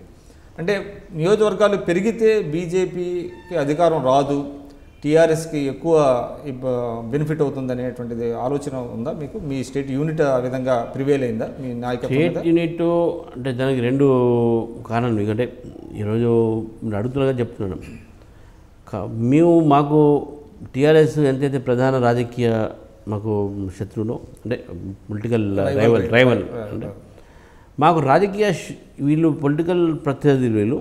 రాజకీయ శత్రువులు మాకు ఉన్న సైద్ధాంతిక శత్రువులు మజ్లిస్ పార్టీ ఉన్నది. మజ్లిస్ పార్టీకి గతంలో ఒక సీట్ ఉండే ఇప్పుడు ఏడు సీట్లకు వచ్చినాయి. డీలిమిటేషన్ అయితే వాళ్ళ సీట్లు మళ్ళీ పెంచుకుంటారు. ప్రభుత్వం కూడా ఏ విధంగా దాన్ని పెంచే ప్రయత్నం కూడా చేస్తుంది ఆ డీలిమిటేషన్ అంటే వాళ్ళకి బెనిఫిట్ చేసే ప్రయత్నం చేస్తుంది. హైదరాబాద్ సీట్లో దాదాపు ఇరవై సీట్లు కూడా బదిలీకి వచ్చేటటువంటి ప్రయత్నంలో చేస్తారని చెప్పేసి కూడా కొంత అభిప్రాయాలు కొంతమంది మా ఒక పార్టీ కూడా అభిప్రాయం వ్యక్తం చేశారు. And Majlis growing is not good for the state or for the country. For for అంటే మీ మీ ఆలోచన మా ఆలోచనలో ఒకటి. అది ఫస్ట్ రీజన్. సెకండ్ రీజన్ సీట్లు పెంచినప్పుడు ఏంటంటే మీరు అందరూ కూడా డిఫెక్షన్స్ సెట్ చేయించారంటే మీకు నెక్స్ట్ టైం మీరు సీట్లు ఇస్తారని చెప్పేసి మీరు పొలిటికల్ డిసిషన్ మీరు మీ యొక్క కన్వీనియన్స్ కోసం you wanted increasing the seats దానికి మేము వాళ్ళని అడ్జస్ట్ చేయడానికి. వాళ్ళని అడ్జస్ట్ చేయడానికి. మేము అంతవరకే దాన్ని ఆబ్జెక్షన్ పెట్టినాం కానీ మీరు సీట్లు పెంచొద్దు పెంచాలి. మీ ప్రభుత్వం మీ కేంద్ర ప్రభుత్వాన్ని కానీ వారిని కానీ ఇప్పుడు కోరలే. It is a political decision we are take it politically whom it is going to benefit అనేది డెఫినెట్గా ఒక పొలిటికల్ పార్టీగా మాకు కూడా అధికారం ఉన్నది. రాజకీయాల్లో మేము కూడా ఉన్నాం. మా పార్టీకి ఏ లాభం ఉంటే కేంద్రంలో మా పార్టీ ఉంది కాబట్టి డెఫినెట్గా మేము ఆలోచన చేయాల్సిన అవసరం ఉంది. కానీ ఇక్కడ డీలిమిటేషన్ ప్రభుత్వం కావాలని చేయట్లేదు తప్పింది. ఎందుకంటే it is job of the election commission of India and election commission of India is not under government control it autonomous body ఒక స్టాచ్యూటరీ ఒక కాన్స్టిట్యూషనల్ కానీ బాడీ కానీ ఒక దశలో అండి దాదాపుగా అయిపోయింది. ఇంకా రే నేడో రేపో పార్లమెంట్ ఆమోదమే తరువాయి అనే అన్న ఫీలింగ్ ఇచ్చారు. హైపోథెటికల్గా బయటకు వచ్చినటువంటి ఒక లీకేజెస్ అవన్నీ. ఎలక్షన్ కమిషన్ ఆఫ్ ఇండియా ఇవన్నీ లీకేజెస్ రాకముందు ఎలక్షన్ కమిషన్ చెప్పింది. We cannot complete delimitation process till two thousand nineteen వాళ్ళే మిగతా రాష్ట్రాల్లో కూడా ఇబ్బందులు ఉన్నాయి కాబట్టి. ఉన్నాయి కాబట్టి చెప్పి వాళ్ళు చెప్పారు. చెప్పిన తర్వాత కూడా చాలా టీవీ ఛానల్స్ కూడా డిబేట్స్ అయినాయి. అసలు పెంచొచ్చా పెంచొద్దా? ఎందుకంటే కాన్స్టిట్యూషన్లో టూ థౌజండ్ ట్వంటీ ఫైవ్ దాకా పెంచకూడదని ఉన్నది వాస్తవానికి. కానీ overriding that constitutional provision మన ఏపీ రీఆర్గనైజేషన్ యాక్ట్ బిల్ ప్రకారము ఇక్కడ పెంచాలి అనేది ఉన్నది. ఉన్నది. టెన్ ఇయర్స్ లోపల అది కూడా. పెంచ పెంచొచ్చు పెంచాలి అని ఉన్నది యాక్చువల్లీ ఆ పెంచాలే పెంచవచ్చు అనేటటువంటి ఒక ఏదైతే రైడింగ్ రైడర్ ఉందో దాని మీద election commission of India call తీసుకోవాలి. గవర్నమెంట్ ప్రభుత్వం ఓన్లీ డిసిషన్ తీసుకుంటుంది. Yes you can go ahead act ప్రకారం ఉంది కాబట్టి కానీ election commission of India opinion చెప్తుంది మీరు చేయగలుగుతామా చేయలేమా అని. Election commission of India delimitation process ఏంటంటే ఒక కమిషన్ డీలిమిటేషన్ కమిషన్ ఏర్పాటు చేయాలి. ఒక కమిషనర్ని అపాయింట్ చేయాలి. ఆ కమిషనర్ సర్వే చేయాలి తిరగాలి పబ్లిక్లో పోవాలి. పబ్లిక్ ఒపీనియన్ తీసుకోవాలి పబ్లిక్ హియరింగ్ చేయాలి. సో ఇవన్నీ కూడా టూ థౌజండ్ నైన్టీన్ వరకు పాసిబుల్ కాదు. వీ నీడ్ మోర్ టైం అనేది వాళ్ళు చెప్పారు. సో దాంట్లో భారతీయ జనతా పార్టీ ఆపినందువల్ల ఇది ఆగిందని కాదు. It is it is administrative inconvenience of election commission of India but definitely it is a political decision we are going to be benefited if the remaining as seats remain as it is అనేది కొంతమంది మా నాయకులు మీకు ఉంటుంది మా మా నాయకుల భావన ఉన్నది. అది అది కొంతమంది వాస్తవం. కొంతమందికి ఉన్నది లేదని కాదు. సో మీరు కూడా కొంత లాబింగ్ మీరు మీరు లాబింగ్ చేయలేదు. మేము government we are not influence but we told our opinion that we it is if what is the political advantage for BJP if it is increased అంటే బీ సెట్ నెల్ yes if any political advantage is there for political advantage బీజేపీకి ఉందా లేదా తర్వాత సంగతి. మా రైవల్స్కి అయితే పొలిటికల్ డిసడ్వాంటేజ్ ఉంటుంది. అనేది మేము ఫస్ట్ ఆర్గ్యూ చేసాం nothing wrong in nothing wrong it's a political strategy political game మా గవర్నమెంట్ ఉన్నప్పుడు why should be take a decision which is against our interest but ఇంకోటి సార్ అయితే మీకు హైకోర్టు హైకోర్టు విభజన అంటే మీరు కూడా సీనియర్ అడ్వకేట్ నా ఎలక్షన్లో పెద్ద ఇష్యూ కూడా ఉండే కదా. అదే ఇష్యూ అదే చెప్తున్నా. అందులో మీకు అసలు తెలంగాణ ఉద్యమంలో లాయర్స్ అడ్వకేట్స్ జేఏసీ చాలా కీలకమైనటువంటి రోల్ ప్లే చేసింది. సో దీని మీద మీకు హైకోర్టులో కూడా గొడవలు ఇవన్నీ జరిగినాయి ఇదంతా అంతా తెలుసు. కానీ హైకోర్టు విభజన ఎందుకు ఆగిపోయింది? మూడేళ్ళు అవుతున్నా కూడా. ఇంత ఒత్తిడి ఉన్నప్పటికీ తెలంగాణ సైడ్ నుంచి మీరు కూడా తెలంగాణ జనరల్గా ఏంటంటే హైకోర్టు విభజన జరగాలి అనేది చాలా మంచి డిమాండ్. అది జరగాల్సి ఉంది. దాంట్లో సెకండ్ థాట్ ఎవరికి లేదు. మా పార్టీలో చెప్తాను దానికి కూడా. అందుకనే ఇది చాలా ఇంపార్టెంట్ ఇష్యూ. ఎందుకంటున్నా అంటే ఎప్పుడైతే స్టేట్ ఫామ్ అయిపోయిందో హైకోర్టు డివిజన్కు ముఖ్యమంత్రి గారు ఢిల్లీ వెళ్ళారు. అప్పుడు రవిశంకర్ ప్రసాద్ గారు నామినేషన్ ఉండే. వారు సుప్రీంకోర్టుకు రాశారు. సుప్రీంకోర్టు కూడా ఇన్ ప్రిన్సిపల్గా ఒప్పుకున్నది డివిజన్కు. అంత అయిపోయిన తర్వాత ఏమైందంటే రా- రాష్ట్ర ప్రభుత్వము ఒక బిల్డింగ్ చూసింది గచ్చిబౌలిలో. అండ్ రాష్ట్ర ప్రభుత్వము కేంద్ర ప్రభుత్వం మాట్లాడిన తర్వాత it has gone to an extent of even shifting Telangana court there for a period. అతను ఆంధ్ర కోర్ట్ షిఫ్ట్ అయిన తర్వాత మళ్ళీ మీ వస్తాం అని కూడా అన్నారు. దంటే we appreciate the government's effort also. State government's. Effort అయింది. రెంట్ కూడా పే చేస్తామని కూడా చెప్పారు. చెప్పారు. ఈవెన్ సెంట్రల్ గవర్నమెంట్ దానికి ఒప్పుకున్నది అంత అయిపోయింది. Already everything was prepared orders కూడా వచ్చేసినాయి. Hmm. ఒకటి పిల్ వేశాడు some guy file PIL in high court Kalyan C justice Kalyan Sen Gupta గారు ఆ రోజు రిజైర్ రిటైర్ అవుతున్నారు. లాస్ట్ డే నాడు judgement ఇచ్చిపోయినందుకే you can't shift the high court unless you concede it is high court of Andhra Pradesh it should be shifted not the Telangana. Under the act it is so so అని చెప్పి ఆ యాక్ట్లో ఉన్నటువంటి కొన్ని రుచుకులు పట్టుకొని given a judgement దాంతో ఆ process అంతా అయిపోయింది. ఇదే సబ్జూడిస్తున్నాం దాని మీద ఏమైంది? State government file review petition ఆ రివ్యూ పిటిషన్ రాలేదు.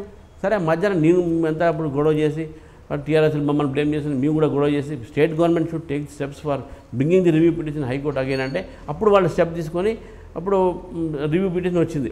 రివ్యూ పిటిషన్ కొంత ఆర్గ్యుమెంట్ జరిగిన తర్వాత ఆ ఆర్గ్యుమెంట్ జరిగిన తర్వాత మళ్ళీ review petition posted for further hearing పెట్టారు. ఇంతవరకు అది రాలే. కానీ ఆంధ్ర గవర్నమెంట్ కొంత ప్లే చేస్తుంది అనేటువంటి భావన నెక్స్ట్ టైం కమింగ్ ఫర్దర్ అయితే ఈ మధ్యలో ఏమైందంటే ఆ హైకోర్టులో క్వశ్చన్ అడిగింది మా high court bench to our central government standing counsel మన నటరాజన్ గారు ఏఎస్జీని how much I mean whether you have got taken given any amount to the high court అని చెప్పేసి. మేము బడ్జెట్లో క్లియర్గా చూపెట్టినాం. ఆల్రెడీ అక్కడ ల్యాండ్ అలొకేషన్ అయింది. మేము క్యాపిటల్ డెవలప్మెంట్ ఫండ్కి ఇంత ఇచ్చినాము. దాంట్లో హైకోర్టు కూడా ఉన్నది. High court first five hundred crores కూడా మేము ఖర్చు పెట్టమని చెప్పేసి కూడా మేము చేసినాము. అవన్నీ కూడా చేసింది అక్కడ ఒక జడ్జెస్ టీం పోయి ఆ ల్యాండ్ యూజ్ వచ్చింది. భూమి పూజ కూడా ఫలానా డేట్ నాడు ఫిక్స్ చేశారు వాళ్ళు. ఆ సెవెంత్ జూ జూన్ ఏదో ఉండే కానీ పోస్ట్పోన్ అయింది. అయింది. మొన్న కూడా కొంతమంది ఆర్కిటెక్ట్స్ వచ్చి అవన్నీ హైకోర్టు ఎట్లా ఉండాలి థర్టీ సిక్స్ హాల్స్ ఉండాలి అని అదని చెప్పి చెప్పారు. బట్ ఇది ఏదున్నా సరే అక్కడ government they should expedite the work. Andhra government should expedite. అది వల్ల డిలే అవుతున్న విషయం అందుకే అవుతున్నది. ఎందుకు చేస్తుందంటారు? అంటే వాళ్ళ వాళ్ళ ఆలోచన ఏంటంటారు? They should not do it అంటారు నీకు చెప్పగలదు ఎందుకు చేస్తామో తెలియదు కానీ వాళ్ళకే మంచిది అది ఎందుకంటే వాళ్ళకి హైకోర్టు వచ్చిందంటే అక్కడ they will have the courts can shift. ఎందుకంటే ఇప్పుడు ఎందుకు మంచిది వాళ్ళకి అంటున్నా అంటే ఇప్పుడు ఆల్మోస్ట్ సెక్రటరీ షిఫ్ట్ అయిపోయింది కదా. వాళ్ళ కోర్టు కేసులు ఇక్కడ ఉన్నాయి కదా. ప్రతి హియరింగ్ నాడు ఐఏఎస్ ఆఫీసర్ ఫైల్స్ పట్టుకొని రావాలి ఫ్లైట్లో ఇక్కడ కోర్టు ముందు దించవాలి మళ్ళీ సాయంకాలం కానీ మళ్ళీ ఫైల్లో ఫ్లైట్లో తీసుకుపోవాలి. ఎవరికి నష్టం అది? వాళ్ళకి నష్టం అది. కాబట్టే అంటే వాళ్ళ ఇంట్రెస్ట్ ఏమై ఉంటుంది అంటారు అది ఇంట్రెస్ట్ ఏమైంటుంది అనేది because I can't comment on that but it is very serious issue Telangana is concern Telangana is concern it is required that high court should bifurcated immediately there this no second thought on it but as far as the role of the Andhra Pradesh government is concern it is very important that they take the initiative and construct the high court there unless and until it cannot be shifted అనేది కళ్యాణ్ సేన్ గుప్తా గారి judgement ఉంది. It is a matter of sub judice which కాబట్టి what best can be done అంటే the central government should pressurise the Andhra Pradesh government to consult మొన్న చేశారు. చేశారు funds కూడా ఇచ్చారు. ఫండ్స్కి ఇచ్చారు రవిశంకర్ ప్రసాద్ గారు మాట్లాడారు. దాని విషయంలో కేసీఆర్ గారు ఈ personally met Ravishankar Prasad. And బయటకు వచ్చి మాట్లాడారు చెప్పారు. ఎందుకంటే central government wants the high court to shifted అది మా ఏ మంత్రి వచ్చి నా ఎలక్షన్ సదానంద గారు చెప్పారు హండ్రెడ్ డేస్ చేస్తాను. అప్పుడు ఈ కోర్టులో కేసులు పెండింగ్ లేవు. నా ఎలక్షన్ అయిన తర్వాత ఎప్పుడైతే చేస్తున్నారో లాస్ట్ ఎప్పుడైతే చేస్తున్నారో someone file writ petition so కాబట్టి సబ్జూడిస్ మ్యాటర్స్ ఉన్నది ఎస్ నేను అగ్రి చేస్తా. ఏంటంటే it is it is government AP government's ఇది decision that they have to construct the high court as early as possible to see. ఇది high court building వల్లనే కాదు. దీంతో రెండు ప్రాబ్లమ్స్ ఉన్నాయి. Allocation of the high court judges. తర్వాత lower court judiciary divide కాలేకపోతున్నది దానివల్ల ప్రమోషన్స్. తెలంగాణలో ఉన్నటువంటి ఒక జ్యుడిషియల్ ఆఫీసర్ నష్టం జరుగుతున్నది. ఇక్కడ నాన్ జ్యుడిషియల్ ఆఫీసర్స్ నష్టం జరుగుతుంది అడ్వకేట్లకు is a different thing. That you leave around that aspect. ఆ రెండు కోర్టులో రెండు ప్రాక్టీస్ చేసుకుంటూ అది డిఫరెంట్ థింగ్. బట్ మేజర్గా ఏదైతే జ్యుడిషియరీ డివిజన్ కాకపోతే సబార్డినేట్ జ్యుడిషియరీ. ఇది it's a problem for everyone కొన్ని రోజులు transfers ఆగినాయి because of some petition in supreme court. ఈ రోజు కూడా సుప్రీం కోర్టులో హైకోర్టు డివిజన్ సంబంధించింది. లోవర్ కో లోవర్ జ్యుడిషియరీ సబార్డినేట్ జ్యుడిషియరీ సంబంధించిన డివిజన్ గురించి ఈరోజు హైకోర్టు సుప్రీంకోర్టు కూడా కేసెస్ పెండింగ్ ఉన్నాయి. కాబట్టి ఇవన్నీ సబ్ జ్యుడిస్ ఉంటాయి. And I'm sure soon high court will be divided. Near ఫ్యూచర్లో అయ్యే అవకాశం near future it will definitely be near near future అవుతుంది. మొన్ననే మేము కూడా ప్రెషర్ పెడతా ఉన్నాం మా తరఫున మా పార్టీ కూడా ఆంధ్ర ఆంధ్రలో కూడా మా పార్టీ కూడా అక్కడ లీగల్ సెల్ డిమాండ్ చేస్తూ ఉన్నారు. హైకోర్టు తొందరగా నిర్మాణం చేయమని చెప్పేసి. ఇక్కడ కూడా మేము డిమాండ్ చేస్తూ ఉన్నాం. రాష్ట్ర ప్రభుత్వాన్ని మీరు ప్రెషర్ పెట్టండి ఆంధ్రప్రదేశ్ గవర్నమెంట్ మీద. ఇది గవర్నమెంట్ గవర్నమెంట్. వాళ్ళు రకరకాలుగా వాళ్ళు కలుస్తారు. పెళ్ళిలో కలుస్తారు యాగంలో కలుస్తారు అక్కడ కలుస్తారు. వాళ్ళు హైకోర్టు ఈ issues ఈ మీద ఇష్యూ మీద మీరు కలవలేకపోతున్నారు. ఎందుకు కలవట్లేదు? ఇప్పుడు షెడ్యూల్ టెన్లో ఉన్నటువంటి డివిజన్స్ గురించి మీరు కలిశారు. దీంట్లో ఇది- ప్రెజరైజ్ చేయండి ఫస్ట్ ప్రయారిటీ దీనికి ఇవ్వండి. అంటే ఇప్పుడు రెండు రాష్ట్ర ప్రభుత్వాల మధ్య మంత్రుల ఉపసంఘాలు ఉన్నాయండి. అందులో హైకోర్టు ఇష్యూ ఉందా? ఉంది హైకోర్టు ఇష్యూ ఉంది. ఉంది కాబట్టే తొందరగా అయిపోద్దని మేము భావిస్తున్నాం దాన్ని. సో చెప్పండి రెండు రాష్ట్రాల్లో బీజేపీ యొక్క ఫార్చ్యూన్స్ ఎస్పెషల్లీ మన వెంకయ్య నాయుడు గారు అక్కడికి వెళ్ళిపోయిన తర్వాత మెరుగయ్యే పరిస్థితి వచ్చిందంటారా? వెంకయ్య నాయుడు గారు మా మా అందరికీ ఈజ్ ఏ గ్రేట్ లీడర్ మీ అందరం కూడా అతన్ని వారిని మేము ఆదర్శంగా తీసుకున్నాం. నేను స్టూడెంట్ డేస్ నుంచి కూడా ఏవీపీలో ఉన్నప్పటి నుంచి వారిని చూస్తూ ఉన్నాను ఎమ్మెల్యేగా is a mass leader basically mass leader అంటారా? మాస్ లీడర్ ఆయన పబ్లిక్ మీటింగ్ పెడితే ఆయన స్పీచ్ వినడానికి చాలా మంది జనం వస్తుంటారు. ఆయన a good orator good orator that's why mass him and is ఇప్పుడు మా అందరిని తయారు చేసింది కూడా వారే. ఈరోజు మీ అందరూ కూడా we are proud that he is becoming vice president వారి వైస్ ప్రెసిడెంట్ కావడానికి పార్టీ పెరుగుదలకు this no link. Party is growing and party will grow. అది వెంకయ్యనాయుడు గారు definitely his role was there for growth of the party. And today may become a constitutional కానీ ఒకటి అంటే మీరు మీరు డిఫెండ్ చేసుకోవచ్చు వారి పట్ల మీకు కానీ మీడియాలో కానివ్వండి మీ పార్టీ ఇంటర్నల్గా కానివ్వండి ఈ రెండు రాష్ట్రాలు బీజేపీ ఎదగాలి అని అంటే ఇక్కడ వెంకయ్య నాయుడు గారి సే ఉండకూడదు అందువల్లనే ఆయనకి ప్రమోషన్ ఇచ్చి పంపించేశారు అనేటువంటి సర్వత్రా వినపడుతుంది. ఆ వారు కూడా అసలు పార్టీ నుంచి వెళ్ళడానికి ఇష్టం లేదు కానీ మోడీ గారు చెప్పారు కాబట్టి వెళ్తున్నానని చెప్పారు. కానీ కొన్ని వర్గాలు మాత్రం చాలా హ్యాపీగా ఉన్నాయి. ఇక చూడండి ఇక బీజేపీ బ్రహ్మాండంగా ఎదుగుతుంది అనేటువంటిది కూడా పార్టీలో వచ్చింది అది. అది దాన్ని మీరు అంటే అంగీకరించరా? నేను ఏమంటున్నా అంటే ఆ పార్టీ పెరుగుదలకు నాయుడు గారికి వైస్ ప్రెసిడెంట్ కావడంలో కానీ ఆయన షిఫ్ట్ చేయడం కానీ నాకు సంబంధం లేదు. యాజ్ ఇట్ ఈస్గా పార్టీ పెరుగుతున్నది. యాజ్ ఇట్ ఈస్గా పార్టీ. ఇంతకాలం పెరగలేదు ఆయన మీరు మీరు ఈరోజు చెప్తున్నాను సార్ మీరు if you go to Andhra అక్కడ చాలామంది చాలా సెక్షన్స్ నుంచి మా దగ్గర పార్టీ జాయిన్ జాయిన్ అయ్యారు. అవుతున్నారు కూడా. పెద్ద పెద్ద వాళ్ళు ఎక్స్ మినిస్టర్లు ఎక్స్ ఎంపీలు వచ్చి- వచ్చేస్తున్నారు. నాయుడు గారు ఉన్నప్పుడే జరిగింది అవన్నీ. సో కాబట్టి నాయుడు గారి యొక్క వైస్ ప్రెసిడెంట్ కావటం అనేది ఈ రెండు రాష్ట్రాల్లో పెరుగుదలకు సంబంధం లేదు. అయితే ఒకటి దీంట్లో విషయం ఏంటంటే ప్రచారంలో కొంత ప్రచార సాధనాలు చేశారు. ఇవన్నీ కూడా మీడియా క్రియేట్ చేసిన చాలా స్టోరీస్ ఉన్నాయి. కానీ నాయుడు గారు స్వయంగా చెప్పారు. ఎందుకంటే నాయుడు గారికి ఉన్నటువంటి స్వభావం ఏంటంటే ఈజ్ అ వోకల్ మ్యాన్ ఎప్పుడు ప్రెస్ కాన్స్ పెట్టడం కాంగ్రెస్ అటాక్ చేయడం గవర్నమెంట్ డిఫెండ్ చేయడం అనేది అది ఉన్నది. బట్ వైస్ ప్రెసిడెంట్ పోయిన తర్వాత ఇవన్నీ వారు చేయలేరు. వారు యాక్టివ్ పొలిటికల్ లైఫ్ నుంచి తప్పించుకుంటానికి బాధపడుతున్నారు. అంతవరకే కానీ యాక్టివ్ పొలిటికల్ లైఫ్లో ఉన్న సమయంలో కూడా పార్టీ డెవలప్మెంట్లు కానీ పార్టీ కోసం కానీ వారు చాలా త్యాగాలు చేశారు. పార్టీ కోసం అహోరాత్రులు పార్టీ కోసం పనిచేశారు అంతేగాని వారిని తప్పించే ప్రయత్నం ఎందుకు చేస్తుంది పార్టీ? వాళ్ళు గవర్నమెంట్ పార్టీ సైడ్ లైన్ చేసింది అనేది ఇది కొంతమంది ఒక రాంగ్ నోషన్ ఉన్నారు. అవన్నీ ప్రచారం చేస్తున్నారు కానీ it is wrong. He has been respected by all the political leaders and all of all the parties కాబట్టే అటువంటి వ్యక్తిని వైస్ ప్రెసిడెంట్ చేస్తుంటే మన గర్వంగా భావించారు కానీ తప్పిస్తున్నారు కాబట్టి అనేది ఇది ప్రచారంలో తీసుకువస్తున్నారు కొంతమంది అంతేగాని there is nothing there is no truth in it ఇది వాస్తవం కాదని చెప్పేసి కూడా నేను గంటా పోయి చెప్పగలుగుతాను. అంటే ఆయన వెళ్ళిపోవటం వల్ల ఏమో కొంతమంది లాభం అంటారు కొంతమంది నష్టం అంటున్నారు. వారు వెళ్ళిపోవడం వలన మా అందరి గర్వం అది. గౌరవం తెలుగు రాష్ట్రాల గౌరవం అది. ఒక తెలుగువాడు రాష్ట్రపతి నష్టాలు లాభాలు పొలిటికల్గా మేము చేసే పని మీద డిపెండ్ అయి ఉంటుంది. అంతేగాని అది ఒక వ్యక్తి పోస్ట్ మారితే కానీ ఒక వ్యక్తిని తప్పిస్తే కానీ ఒక వ్యక్తికి ఇంకేదని ఇస్తే కానీ అది జరిగేది కాదు కదా. మేమంతా గ- గర్వంగా ఈరోజు ఫీల్ అవుతున్నాం. తెలుగువారు కూడా ఒక గర్వాన్ని వారి యొక్క అభినందన సభకు కాంగ్రెస్ పార్టీ వచ్చారు మీడియా వాళ్ళు వచ్చారు టీఆర్ఎస్ వాళ్ళు వచ్చారు. అందరూ వచ్చి వారిని అభినందించారు because is a Telugu man and pride of Telugu that is becoming vice president సరే రామచంద్ర గారు చెప్పండి. అంటే తెలంగాణలో అసలు బీజేపీ రావటం అనేటువంటిది కళ్ళ. అని టీఆర్ఎస్ వాళ్ళు అంటున్నారు. అసదుద్దీన్ ఓవైసీ అయితే కేసీఆర్ బతికున్నంతకాలం అసలు బీజేపీ రాదు తెలంగాణ రాష్ట్రంలో అనేటువంటిది అంటున్నారు. అంటే అంటే కేసీఆర్ గారు ఇటీవల కాలం చూస్తే ఏదైతే ఆయన ఒకవైపు హిందుత్వ ఎజెండా కూడా మాది అంటే గుళ్ళకి గోపురాలకి ఆయన చాలా లిబరల్గా డబ్బులు ఇవ్వటం తర్వాత యాదాద్రి తర్వాత అట్లా పుణ్యక్షేత్రాలు అట్లా రాజన్న వేములవాడ రాజన్న క్షేత్రాన్ని డెవలప్ చేస్తున్నారు. అట్లాగా హిందువుల మనోభావాలని గౌరవించే విధంగా ఆయన చాలా వర్క్స్ చేస్తున్నారు.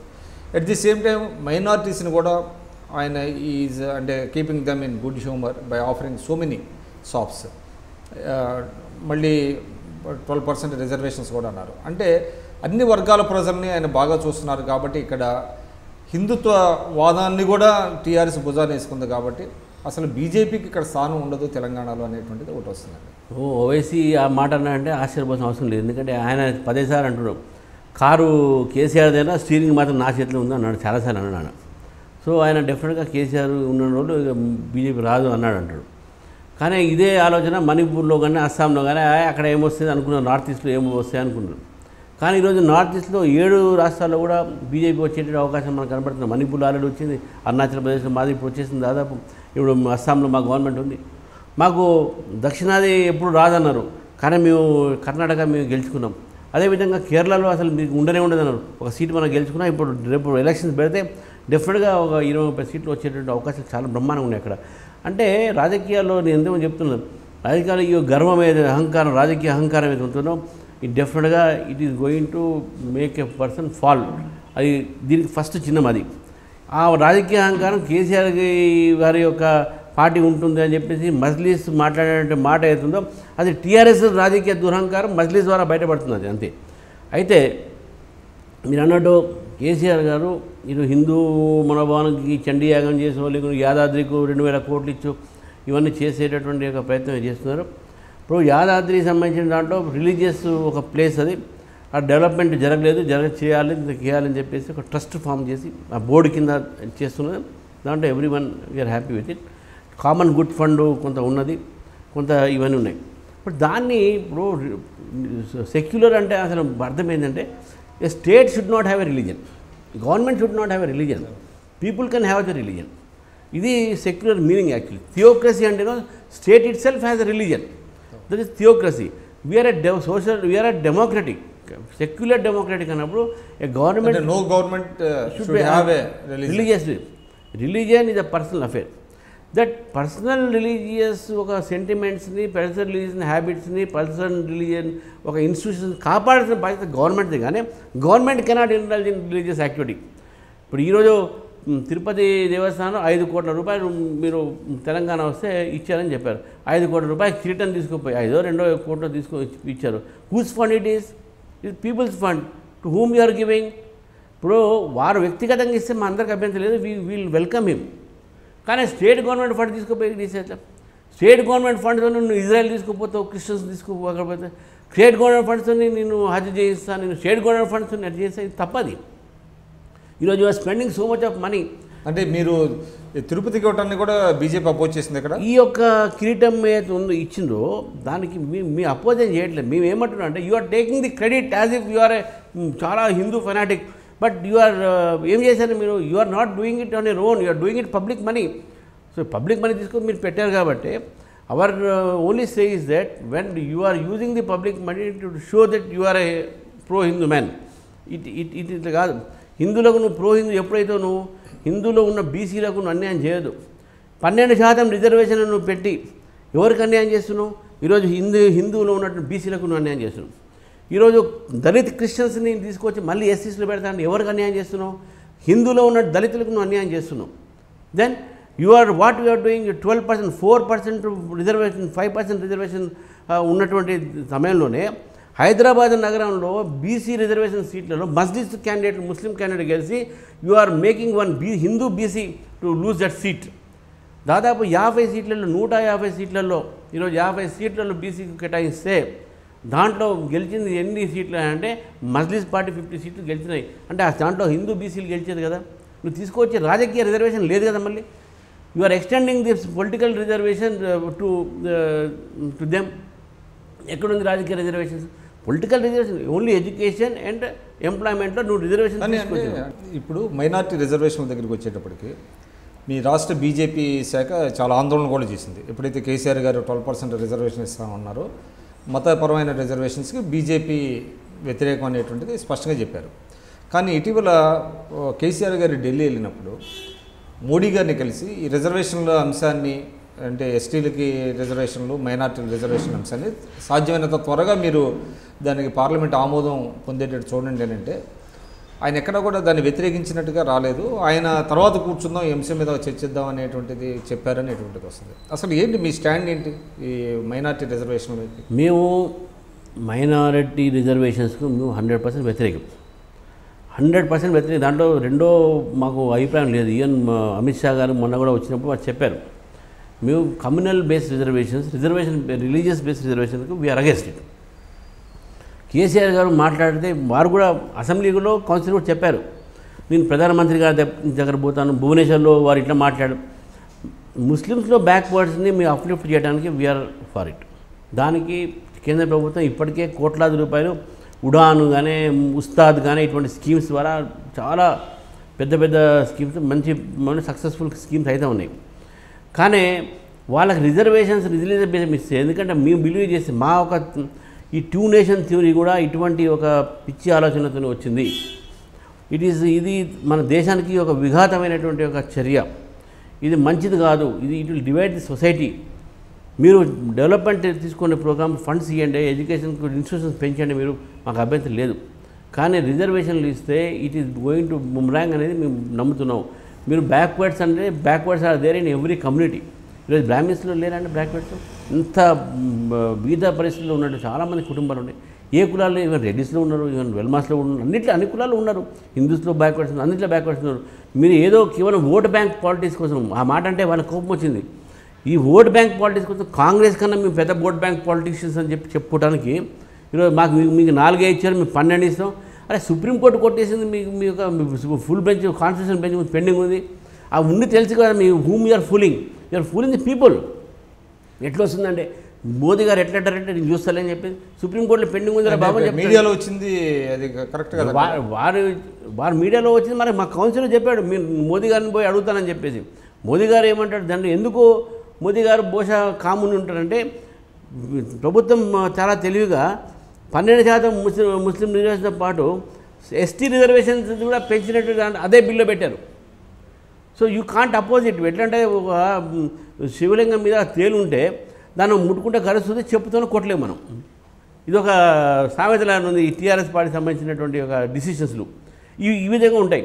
అంటే దాంట్లో అపోజ్ చేస్తేనో మీరు ట్రైబల్ని అపోజ్ చేసినట్టారు ట్రైబల్కు ఎస్సీస్కు ఎస్టీస్కు పాపులేషన్ బేసిస్ మీద ప్రపోర్షనేట్గా రిజర్వేషన్స్ ఇవ్వచ్చు.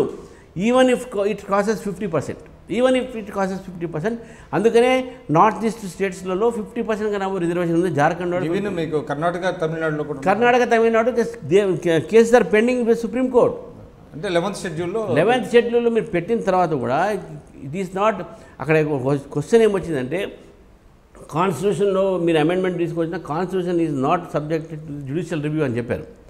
కానీ లేదు లేదు constitution basic structure of the constitution disturb అయితే definitely there can be judicial interference అని చెప్పేసి ఆ రోజు ఇదే same Tamil Nadu case is pending before the Supreme Court అది షెడ్యూల్లో పెట్టినటువంటి ఒక ఆ బిల్ ఇంకా పెండింగ్ ఉంది అక్కడ యాక్ట్ పెండింగ్ ఉన్నది. ఆ పెండింగ్ కూడా తెలుసు అది దాని ఫేటే మనకు తెలియదు ఫోర్ పర్సెంట్ రిజర్వేషన్ మీద ఇంకా స్టిల్ కోర్టులు పెండింగ్ ఉంది. రిలీజియన్ బేస్డ్ రిజర్వేషన్ ఇవ్వకూడదని చెప్పి హైకోర్టు చెప్పింది ఇక్కడ. సుప్రీంకోర్టుకు అనేక అనేక సార్లు చెప్పింది. వాళ్ళు రిలీజియన్ బేస్డ్ రిజర్వేషన్ కాదు ఇది. We have identified Muslims in the backwards some of the sections and caste basis మీద వాళ్ళని క్యాస్ట్ తీసుకొచ్చి వాళ్ళని వాళ్ళలో క్యాస్ట్ డివైడ్ చేశారు. అది తప్పంటారా మీరు? డెఫినెట్గా తప్పు అది. వాళ్ళ వాళ్ళ వాళ్ళ అంటే ఆరోగ్యం ఒకటండి అంటే మైనార్టీల్లో కూడా అనేక సబ్సెక్ట్స్ ఉన్నాయి అనేక వెనుకబడినటువంటి ఉన్నాయి. అంటే మీరు కూడా లాయరు మరి జస్టిస్ రంగనాథ్ మిశ్రా గారి రిపోర్ట్ కావాలండి మిగతా అన్ని వాళ్ళు కూడా పది శాతం రిజర్వేషన్ ఇవ్వాలి on backwardness basing up on the backwardness అనేటువంటి చెప్పారు. రాజేంద్ర సచార్. సత్యారు ఏమో కాంగ్రెస్ పార్టీలో ఉన్నప్పుడు వచ్చింది. అంతకుముందు రంగనాథ్ మిశ్రా గారి కమిటీ కూడా వాళ్ళు మైనార్టీకి రిజర్వేషన్ ఇవ్వాలనేటువంటి నివేదిక ఇచ్చారు. అంటే రెండు మూడు నివేదికలు కూడా ఉన్నాయి. దే ఆర్ అంటే అంటే they are for reservations for minorities అంటే వేరియేషన్ ఉన్నది పర్సంటేజ్ వేరియేషన్ ఉన్నది. కానీ దీన్ని కూడా మైనార్టీస్ రిజర్వేషన్స్ అంశాన్ని కూడా హఫాజార్డ్గా కాకుండా ఒక శాస్త్రీయ పద్ధతిలో అధ్యయనం చేసి మేము ఇచ్చామనేటువంటిది టీఆర్ఎస్ చెప్తుంది. అంటే not on religion base on backwardness అనేటువంటిది. దాన్ని మీరు ఎందుకు అపోజ్ మీ మీరు అపోజ్ ఎందుకు చేస్తున్నాం అంటే Islam as a religion they don't have caste వాళ్ళ క్యాస్ట్ సిస్టమ్ లేదు. వాళ్ళు మాట్లాడేటప్పుడు హిందూస్ మీద ఇవి మీ క్యాస్ట్ సిస్టమ్ ఉందని చెప్తున్నారు. They try to divide Dalits and others from the main me Hindu society మిమ్మల్ని వేరేసింది అని మాట్లాడే మాటలు వాళ్ళు మాట్లాడుతుంటారు మధ్య మధ్యన. మాకు క్యాస్ట్ మీకు మీకు ఎట్లా వచ్చింది? మా క్యాస్ట్ సిస్టమ్ మా పోగొట్టడానికి మేము ప్రయత్నం చేస్తున్నాం. కానీ మా క్యాస్ట్ మా సిస్టమ్ గురించి నువ్వు మాట్లాడదు కానీ నీ సిస్టంలో నువ్వు క్యాస్ట్ ఎందుకు ఇంట్రడ్యూస్ చేస్తున్నావు?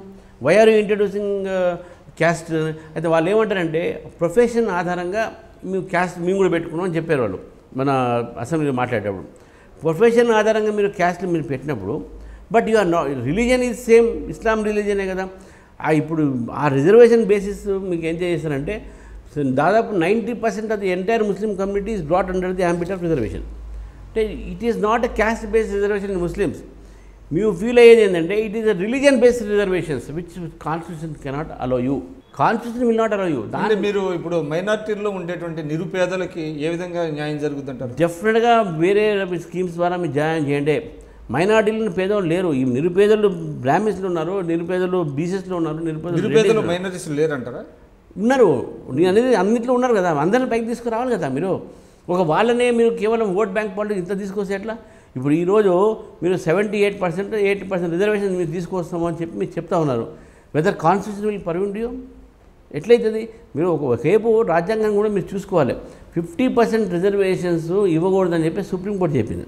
ఎప్పుడు మీరు ఎక్స్ట్రా ఇవ్వచ్చు అంటే పాపులేషన్ వైజ్ మీరు స్టడీ చేసిన తర్వాత if it is required so then you can give that కూడా ఎస్సీ ఎస్టీ మాత్రమే. సెన్సస్ జరగాల్సిన అవసరం ఉందంట. జరగాలి ఇప్పుడు శాస్త్రీయ పద్ధతిగా అన్నారన్న వాళ్ళు. శాస్త్రీయ పద్ధతిగా సుధీర్ బాబు కమిటీ రిపోర్ట్ ఒకటి కమిషన్ వేశారు. Sudhir Babu commission report has given only on table report తర్వాత backward class commission Ramulu garu వచ్చారు. వారితో కొంత తిరిగారు చేసి చేశారు. కానీ మొత్తం బేసిస్ కూడా సుధీర్ సుధీర్ బాబు కమిషన్ రిపోర్ట్ పెట్టుకొని చేశారు. అంటే ఆ కమిషన్ ఎవరు వేయించారు? Government వేయించింది. BC commission is independent commission it is autonomous commission how can it get influence by the government report ఆ గవర్నమెంట్ సుధీర్ బాబు ఇచ్చినటువంటి కమిషన్ రిపోర్ట్ ఈరోజు రామ్లో కమిటీ సేమ్గా రికమెండ్ చేసి పంపించేసింది. ఆయన ఏదో పద్నాలుగు పర్సెంట్ అంటే ఈయన పన్నెండు పర్సెంట్ ఇచ్చుకున్న ఏదో వన్ పర్సెంట్ టూ పర్సెంట్ వేరియేషన్తో మాకు మా మేము కూడా ఇండిపెండెంట్ చెప్పి ఇచ్చేశారు. సో ఇదంతా అశాస్త్రీయంగా ఉన్న పద్ధతి ఇది. ఎస్ ఇప్పుడు మీరు రిజర్వేషన్ ఇస్తారంటే ఎకనామికల్లీ బ్యాక్వర్డ్ క్లాస్కి రిజర్వేషన్ పెట్టండి. యూ డూ ఇట్ మళ్ళీ సెవెంటీ ఎయిట్ పర్సెంట్ మీరు కాన్స్టిట్యూషన్ వైలేట్ చేస్తున్నారు కదా. You you go for further violation by giving even EBC reservations అన్ని కమ్యూనిటీలు ఫార్వర్డ్ కమ్యూనిటీలో ఉన్నటువంటిగా ఈబీసీలో కూడా ఇవ్వండి మీరు. And don't extend political reservations మీరు మీరు పొలిటికల్ రిజర్వేషన్స్ ఎక్స్టెండ్ చేస్తున్నారు దీన్ని. రేపు ఈ బీ రేపు ఫబస్ చట్టసభల్లో కూడా రిజర్వేషన్ వచ్చినాయి అనుకోండి బీసీలకు దీంట్లో. మీరు అప్పుడు ఏం చేస్తారు? బీసీ సీట్లలో కూడా తీసుకొచ్చి మీరు you are going to field minority candidates అవును అప్పుడు ఏమవుతుంది అంటే ఈ నిర్ణయం ఏదైతే మైనార్టీలు పన్నెండు శాతం రిజర్వేషన్లు ఇవ్వాలని కేసీఆర్ గారు గవర్నమెంట్ అనుకుంటుందో అది బూమరంగ్ అయ్యే అవకాశం ఉందంటారా? డెఫినెట్గా ఉమెన్ ఈరోజు ఎంటైర్ కమ్యూనిటీస్ ఇంక్లూడింగ్ ముస్లిమ్స్లో కూడా వాళ్ళే అంటున్నారు. మమ్మల్ని రెచ్చగొట్టడానికి ఇది ఇస్తున్నాడు ఇది రాజ్యాంగంగా ఇది ఏదైనా వ్యాలిడా మమ్మల్ని ఫూల్ చేయడానికి చేస్తున్నాడు చెప్పేసి ఎడ్యుకేటెడ్ ముస్లిమ్స్ ఆర్ ఫీలింగ్ తర్వాత ఈరోజు ఎంటైర్ తెలంగాణ కమ్యూనిటీ వాళ్ళు ఆ రోజు మేము భారతీయ జనతా పార్టీ దాని మీద రెస్పాండ్ అయితే చాలామంది ప- ప్రజల్లో ఈరోజు టీఆర్ఎస్ ప్రభుత్వం చాలా ఓట్ బ్యాంక్ పాలిటిక్స్ చేస్తుంది ఇదేంది వాళ్ళకు స్కూల్స్ కోట్లాది రూపాయలు పెట్టి కట్టు పెట్టి వాళ్ళకి ఇది చేయడం ఏంది ఇంత అపీజ్మెంటా అనేది మీ జీటు వాళ్ళకు బెనిఫిట్ చేయండి we're not against you term it as ఇది ఇదే సూపర్ అపీజ్మెంట్ ఇంతకన్నా అపీజ్మెంట్ కాంగ్రెస్ కూడా చేయలే అంతకన్నా కాంగ్రెస్ని మించిపోవాలనేటువంటి అపీజ్మెంట్ ఇది becoming a competitive appeasement competitive అపీజ్మెంట్లో ఇంత దూరం పోయిన తర్వాత you are whom you are doing injustice you are doing injustice to the Hindus of this Telangana state so దాని మీద మీ పోరాటం ఉందంట మా పోరాటం ఉంటుంది. వీళ్ళు oppose tooth and nail reservation న్యాయపరమైన పోరాటమే కదా మీరు న్యాయ- న్యాయపరమైన పడితే స్ట్రీట్ ఫైట్ కూడా చేస్తాం. రోడ్ల మీద పడి మేము దీన్ని అడ్డుకుంటాం. ప్రభుత్వానికి రిక్వెస్ట్ చేస్తాం. ప్రభుత్వం మీద ఒత్తిడి చేస్తాం. ప్రజల్ని ఇన్వాల్వ్ చేస్తాం. ఇప్పుడు ఈసారి బీజేపీ యూత్ వింగ్లు వాళ్ళని పార్టిసిపేట్ చేస్తాం రేపు ప్రజలతో కూడా ఈ ఉద్యమం తీసుకొచ్చే ప్రయత్నం మేము చేస్తాము.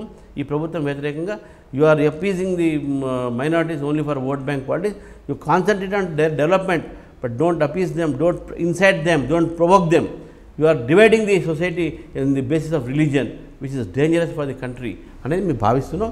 And it's it is correct also ఇప్పుడు తెలంగాణలో ఇంకొక రిజర్వేషన్కి సంబంధించి మాదిగ పోరాట సమితి చాలా సుదీర్ఘకాలంగా పోరాడుతుందండి.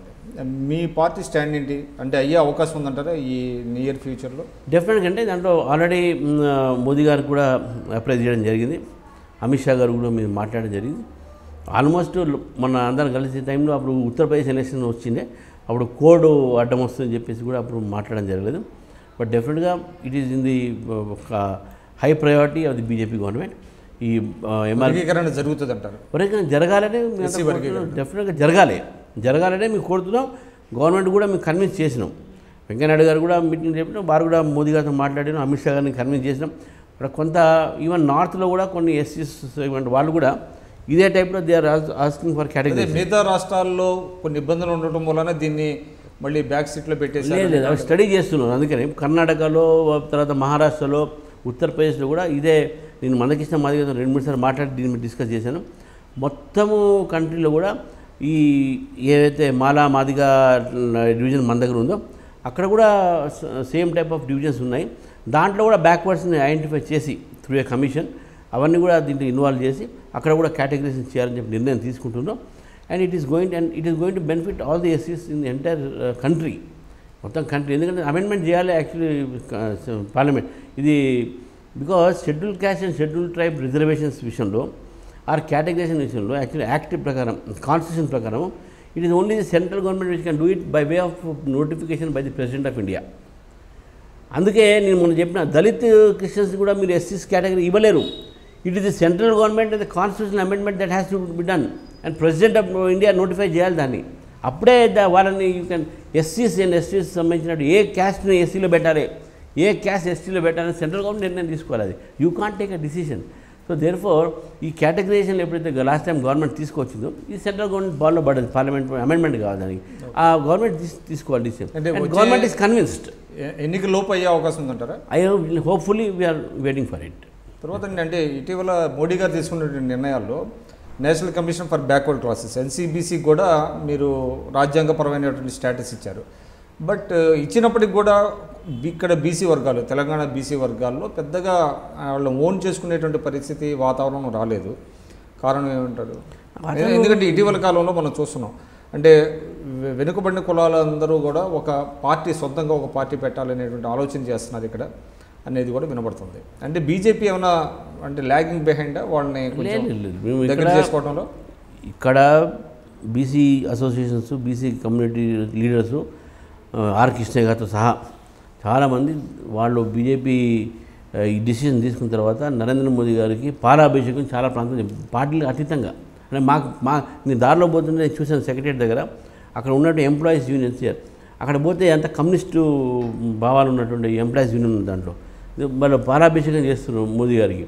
అరే నేను అడిగాను ఏమవుతుందంటే బీసీ కమిషన్ని వాళ్ళు చేశారు కదా సార్ మేమంతా బీసీ ఎంప్లాయీ అసోసియేషన్ అని చెప్పారు వాళ్ళు. అంటే వాళ్ళు ఓన్ చేసుకుంటున్నారు. కాకపోతే ఏంటంటే మీకు ఇప్పుడు ఇమీడియట్గా దాని ఇంపాక్ట్ కనబడలేదు. ఈరోజు బీసీస్ డెఫినెట్గా మోదీ గారు తీసుకున్న డిసిజన్లో they are happy with it పొలిటికల్గా they may not only BJP because of the decision ఎందుకంటే ఈ తొందరగా ట్రాన్స్ఫర్మేషన్ ఉండకపోవచ్చు.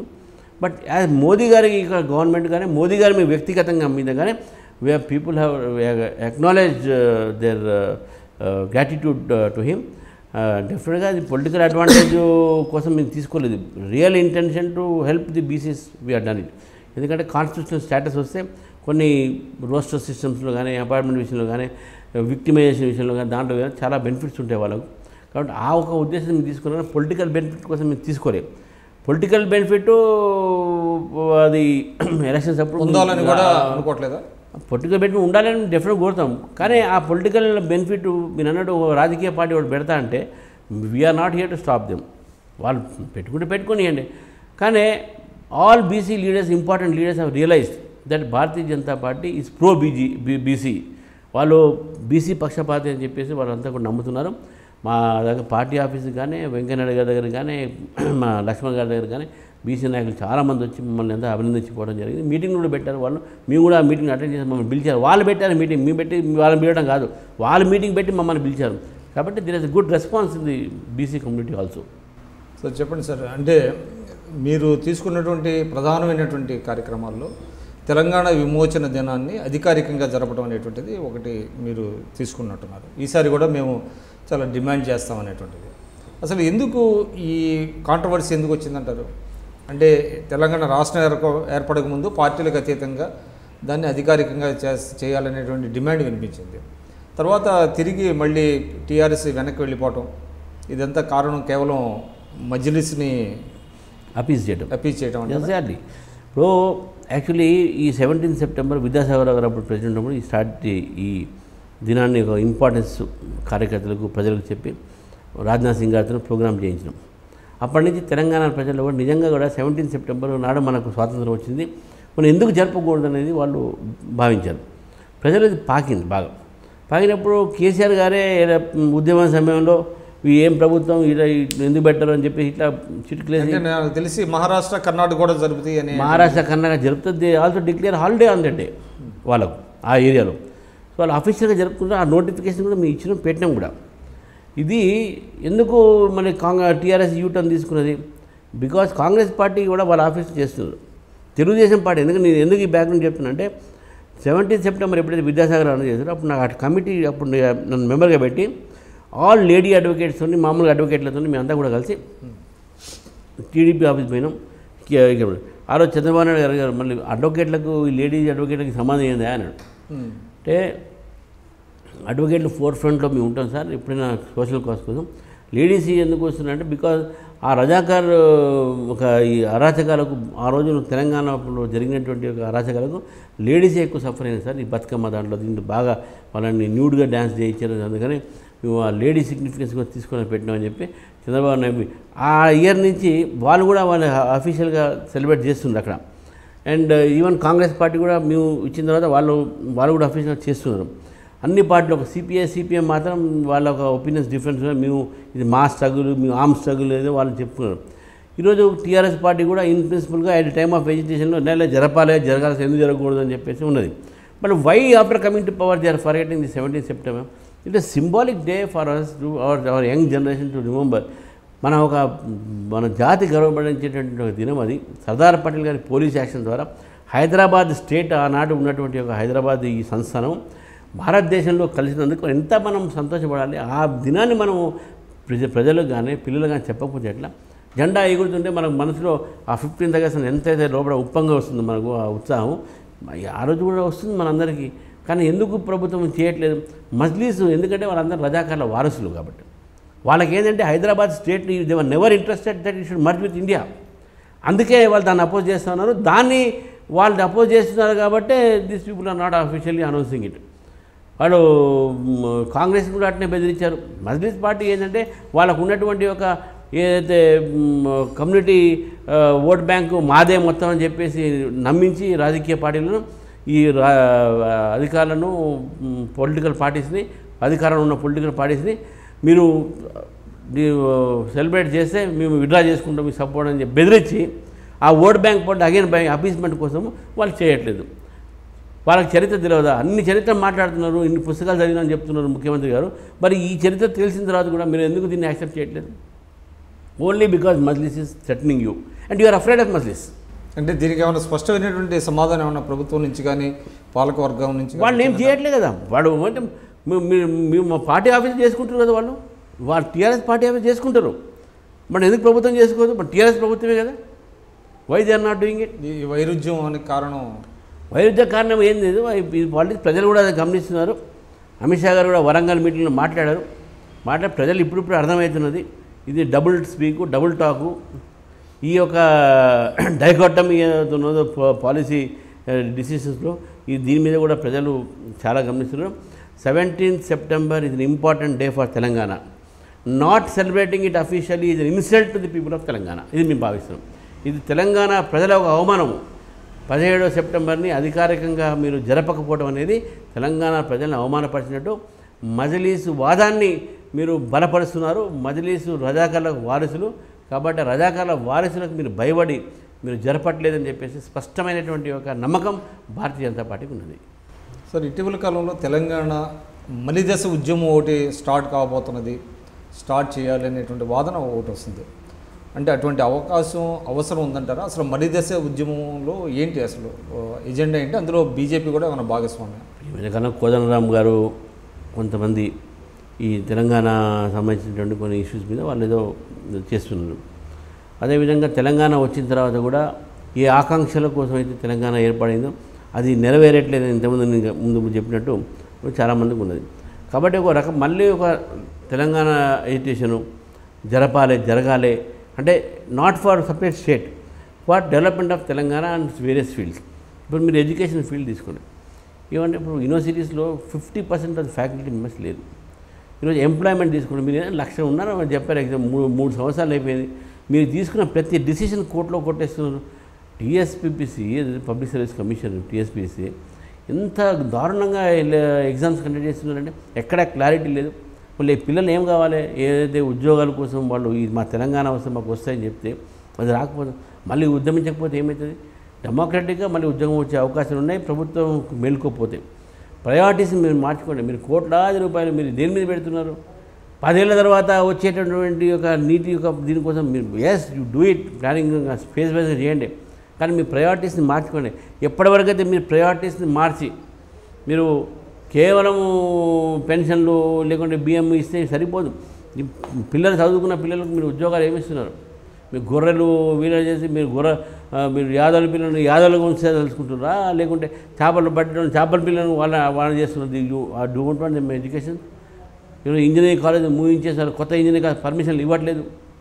ఇన్ని రకాలైనటువంటి ఒక ఏదైతే పరిస్థితి ఈరోజు ఆ తెలంగాణలో ఏర్పడిందో డెఫినెట్గా పీపుల్ ఆఫ్ తెలంగాణ ఈరోజు అరే మన తెలంగాణ ఎందుకు తెచ్చుకున్నాం అనేటువంటి భావన వస్తే మరి తెలంగాణ ఒక రెండో దశ ఒక ఉద్యమం కూడా మొదలై తెలంగాణలో మార్పు కోసము సామాజిక తెలంగాణలో ఎక్కడ సామాజిక తెలంగాణ? కులాల కులాలను విభజించేసి మోస్ట్ బ్యాక్వర్డ్ కమ్యూనిటీ కూడా మీరు ఐడెంటిఫై చేస్తున్నారు ఈరోజు.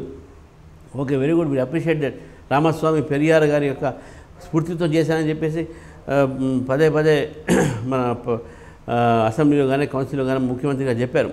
కానీ వాళ్ళకి ఏం అందుతున్నది? మీరు పేపర్ల మీద ప్రకటించిన తప్ప వాస్తవానికి గ్రౌండ్ రియాలిటీస్లో దిర్ ఇస్ నో డెవలప్మెంట్ కాబట్టి people of this Telangana political aware people politically conscious people they will revolt against the government one day and they will go for second phase of education in Telangana for changes political changes and social changes అని నాకు పూర్తి నమ్మకం ఉన్నది. అంటే మీరైతే development లేదంటారండి. అంటే నిన్న మొన్న కూడా చూసాం. మీ ఫైనాన్స్ మినిస్టర్ గారు అరుణ్ జైట్లీ గారు తెలంగాణలో పది శాతం జిఎస్ జిఎస్డిపి గ్రోత్ రేట్ ఉందనంటే సీఎం గారు చాలా స్ట్రేట్ అవే చెప్పారు. మీరు తప్పు అండి పది శాతం కాదు మాది ఇరవై ఒక్క శాతం గ్రోత్ రేట్ ఉంది అని చెప్తే ఆయన్ని ఖండించే ప్రయత్నం కూడా చేయలేదు. అంటే మీరు యాక్సెప్ట్ చే చేస్తున్నట్టే కదా? ఇప్పుడు గ్రోత్ రేట్కు మీరు రెండు విషయాలు గుర్తుపెట్టారు. తెలంగాణ ఇది ఫార్టీ పర్సెంట్ అర్బన్ ఏరియా మీకు హైదరాబాద్లోనే ఈ గ్రోత్ రేటు మీకు కనబడుతుంది కానీ బయట చుట్టుపక్కల మీకు గ్రామీణ ప్రాంతాల్లో ఈ గ్రోత్ రేట్ లేదు. హైదరాబాద్లో గ్రోత్ రేట్ పెరిగింది బికాస్ ఆఫ్ ది యాక్టివిటీస్ కానీ ఇండస్ట్రీస్ పాత ఇండస్ట్రీస్ అవి ఉన్నాయి ఇక్కడ. పాత దాంట్లో కొంత అవే ఇండస్ట్రీస్ మళ్ళీ వాళ్ళకే కొంత కొత్తగా ఇచ్చడం జరిగింది. వాళ్ళకు సాఫ్ట్వేర్ కంపెనీస్ కొన్ని కొత్తగా వచ్చినాయి. ఇక్కడ వేరే రకాల డెవలప్మెంట్ జరిగినాయి.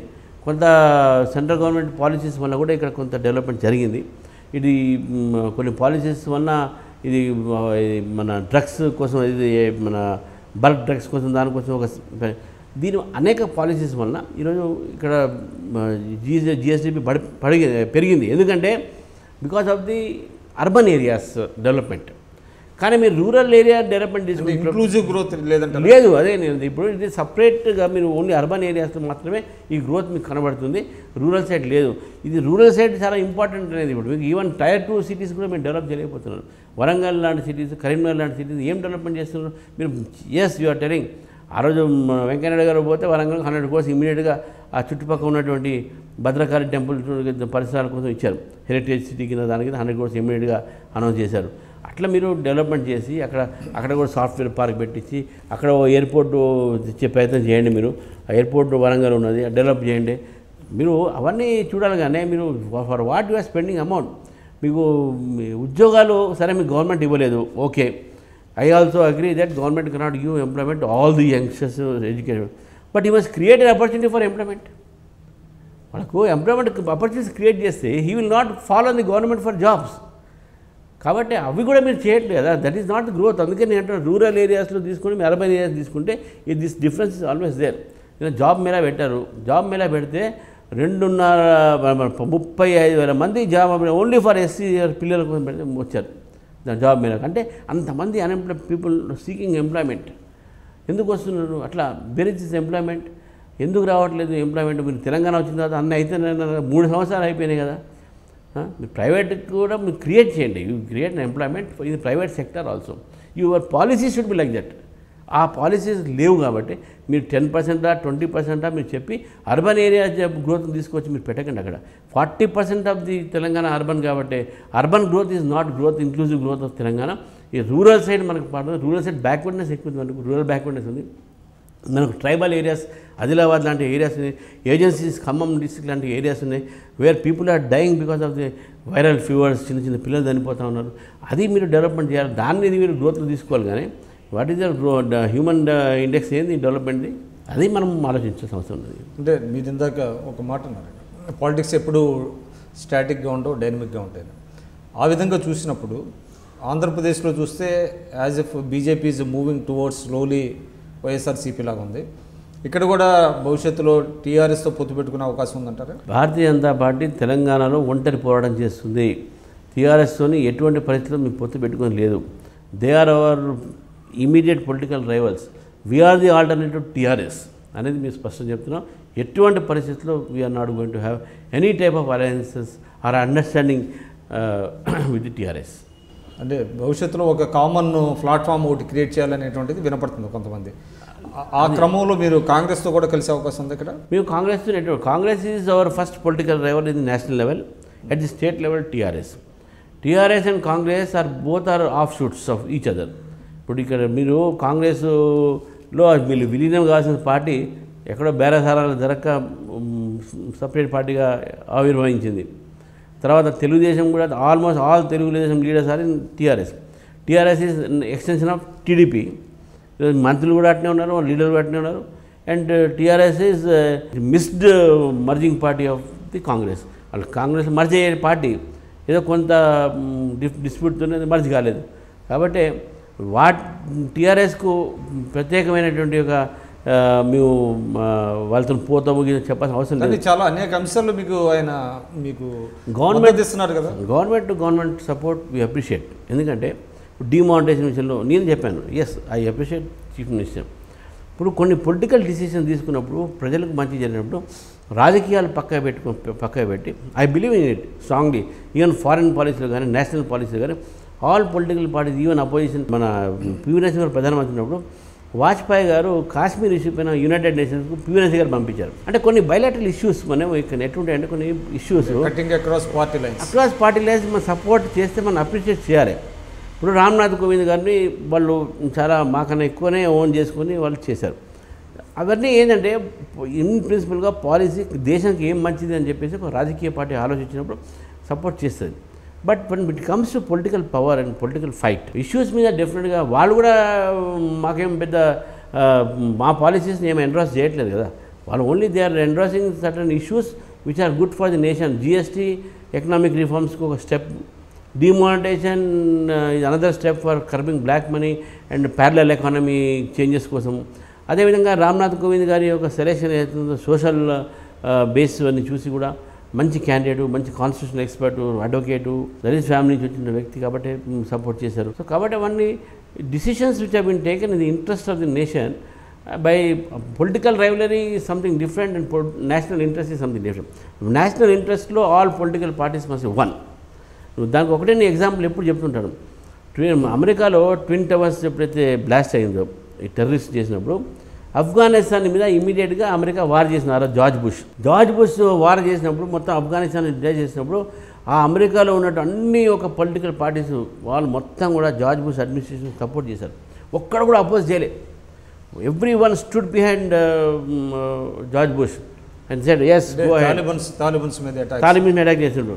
కానీ మన దేశంలో ఒక ఖాందార్ తీసుకుపోయి హైజాక్ చేస్తే ఎయిర్పోర్ట్ ఇన్ ఎయిర్ ఇండియా ఫ్లైట్ని కాంగ్రెస్ పార్టీ వాళ్ళు ఆ ఒక విక్టిమ్స్ పేరెంట్స్ మా తీసుకొచ్చి వాజ్పేయి ఇంటి ముందు కూర్చోబెట్టి మా వాళ్ళని రిలీజ్ చేయించండి మాకు టెర్రరిస్ట్ వదిలిపెట్టేసేయండి అని ప్రెజరైజ్ చేసి వాళ్ళని చేసినటువంటి అదే దాని మీద మన పార్లమెంట్లో అటాక్ అయితే మన సోల్జర్స్ చనిపోయి వాళ్ళని చంపేస్తే అది సెక్యూరిటీ ఫెయిల్యూర్ అనేటువంటి మాటలు మాట్లాడేటటువంటి వీళ్ళు.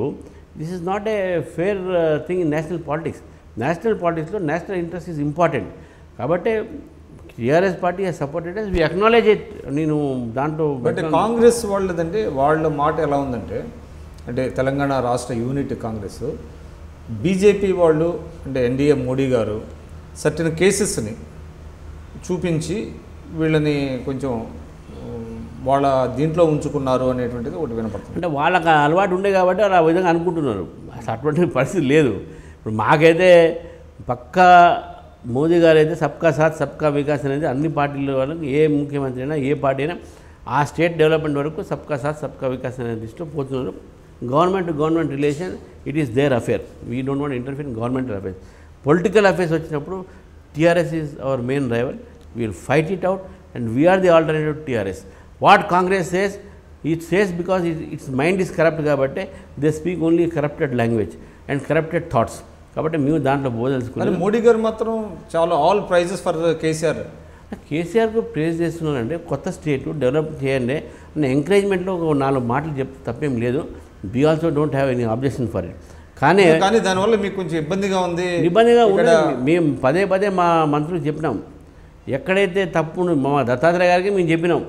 సార్ మీరు అప్రిషియేట్ చేస్తే ప్రజలు అది మనం ఏదో వాడు వాడు చేసిన తప్పులకు మనం ఏదో ఎండ్రాస్ చేస్తుంటే వస్తుంది sir. We have to say we have to be very cut throat in our opinions what is say wrong is wrong and right is right నువ్వు తప్పు చేస్తే కూడా అప్రిషియేట్ చేసేట్ అవుతుంది so we're objecting that we have told our ministers also we told the party also that when you come here you speak you do your business you go head with the governmental activities don't need to go Do- out of way to out of way and uh, endorse the all activities of the CM and praise him so that we are in political embarrassment. అది చెప్పారా మీరు? అది చెప్పాం పక్కా చెప్పినాము ఇప్పుడు ఇప్పుడు వాళ్ళు మా వాళ్ళు కూడా పెద్ద వచ్చింది గతంలోనే ఇప్పుడు కొత్త స్టేట్ కాబట్టి కొత్త మినిస్టర్ కాబట్టి వాళ్ళు మంచి పని చేస్తున్నారు అనేటువంటి ఆలోచనతో మనం చేసాం మూడు సంవత్సరాలు వచ్చిన తర్వాత కూడా ఆ పని అక్క- ఎక్కడ చేసిన గొంగలు ఎక్కడే ఉంటే ఎందుకు why should we appreciate now see ఫస్ట్లో ఓకే మీరు పాలసీలు పెట్టారు అవి పెట్టారు. వీ అప్రిషియేటెడ్ కొత్త రాష్ట్రం కానీ మేము కూడా కోఆపరేట్ చేద్దాం అనుకున్నాం. But your attitude to the people to the state is very different it is not in the interest of Telangana so we have to oppose it and our we have told our మంత్రి మంత్రి also ministers also party also మీరు వస్తే మీకు గవర్నమెంట్లో మీ డిపార్ట్మెంట్లో విషయాలు మీ department మాట్లాడుకోండి మినిస్ట్రీ విషయాలు మాట్లాడుకోండి. కానీ don't come to the media and say that is very good man and is doing very good because he ask you to say so. అటు తప్పది. సో అందుకనే మేము క్లియర్ కట్ స్టాండ్ అవుట్ అయితే మా. క్లియర్ కట్ స్టాండ్ ఉన్నది. మీ- మీ government to government business మీరు చేయండి. You have good cooperation coordination and that is required also for smooth administration and for good federal structure. ఆ ఫెడరల్ స్ట్రక్చర్ ఫెడరల్ స్ఫూర్తితో వాళ్ళిద్దరికి మధ్యన గవర్నమెంట్ గవర్నమెంట్ మంచి రిలేషన్స్ ఉండాలి. కానీ రాజకీయంగా వచ్చినప్పుడు ఏది తప్పు ఏది ఒప్పు అనేది మనం క్లారిటీతో ఉండాలి. Bharatiya Janata party TRS party ఈ తప్పులు చేస్తుంది. ఇది తప్పు అనే ధైర్యం కూడా చెప్పడానికి మా మంత్రులు ముందుకు రావాలని చెప్పేసి మా మంత్రులు మేము కోరాము. ఇప్పటి నుంచి జరుగుతుంది. మీరు చూడండి. సరే మనం కేంద్రం గురించి రాష్ట్రం గురించి చాలా విషయాలు మాట్లాడాం. ప్రస్తుతానికి మీ వ్యక్తిగతమైనటువంటి విషయాలకు వస్తే మీరు బీజేపీలో చాలా senior most. You're well educated senior lawyer. కానీ బీజేపీలో మీరు అనేక పర్యాయాలు అంటే డైరెక్ట్ ఎలక్షన్స్లో కొన్ని ఓడిపోయారు మీరు. మీకు రావాల్సినంత పేరు రాలేదు మీ పార్టీలోనే మీకు గోతులు తవ్వారు. మిమ్మల్ని ముఖ్యంగా తెలంగాణ ప్రాంత వాసి కాదు మీరు అనేటువంటిది కూడా ఒక ప్రచారం జరిగింది. సో దానికి మీ స్పందన ఏంటంటే మీలాంటి ఒక బీజేపీ లాంటి ఒక డిసిప్లైన్డ్ పార్టీలో ఇవి కొంచెం విచిత్రంగా అనిపిస్తాయి. బీజేపీ పార్టీలో నాకు దొరికినటువంటి ఆదరణ నాకు దొరికినటువంటి ఒక ఏదైతే పొజిషన్ ఉందో మంచి పొజిషన్ అనుకుంటున్నాను ఎప్పుడు కూడా పార్టీలు ఏ నాయకులు కూడా ఏ కార్యకర్తలు కూడా నాతోని ఎప్పుడు కూడా నెగిటివ్గా లేరు. గోతులు దోయారు ఏదంటే బయట ఎక్కడో కొంత కొన్ని పేపర్లు ఆ మధ్య రాసినాయి ఓడిపోయినప్పుడు ఈ కారణాలు ఓడిపోయారు అట్లా ఇట్లా అని చెప్పి రాశారు. కొన్ని కొన్నిసార్లు మనం టికెట్ అడిగినప్పుడు రాకపోయినప్పుడు కొంత రాయడం జరిగింది. అవన్నీ బట్ నాకు వ్యక్తిగతంగా నాకు ఎవరి మీద నా పార్టీలు అందరి మీద నాకు ఇటు వెయ్యి రామారావు గారి మీద ఇటు దత్తాత్రేయ గారి మీద వెంకయ్యనాయుడు గారి మీద సీనియర్ నాయకులు అందరి మీద నాకు మంచి వాళ్ళతో ర్యాపోర్ట్స్ ఉన్నాయి నాకు మంచి రిలేషన్స్ ఉన్నాయి. నేను I don't believe in groupism మా పార్టీలో కూడా నేను ఏ వ్యక్తి కూడా ఈ గ్రూప్ ఆ గ్రూప్ నేను ఓడిపోవటం గెలవడం అనేది ప్రజలు చేతిలో ఉంటుంది కానీ పార్టీలో ఉన్నటువంటి ఒక మా అంతర్గత వ్యవహారాలని ఎప్పుడు కూడా దానికి రావు. మా అంతర్గత వ్యవహారాలు కూడా మాకు అంతర్గత విభేదాలు లేవు. ఈరోజు మా రిలేషన్ రెండో విషయం వచ్చే వరకు ఇప్పుడు నేను యాక్చువల్లీ తెలంగాణలో నల్గొండ డిస్టిక్ వాసిని. అంటే ఇప్పుడు సూర్యాపేట జిల్లా అయింది. మా village last village of the Telangana area. అంటే గేట్వే ఆఫ్ తెలంగాణ మా విలేజ్ నల్లబండగూడెం. అంటే జస్ట్ బార్డర్ అంటారా? బార్డర్ అది.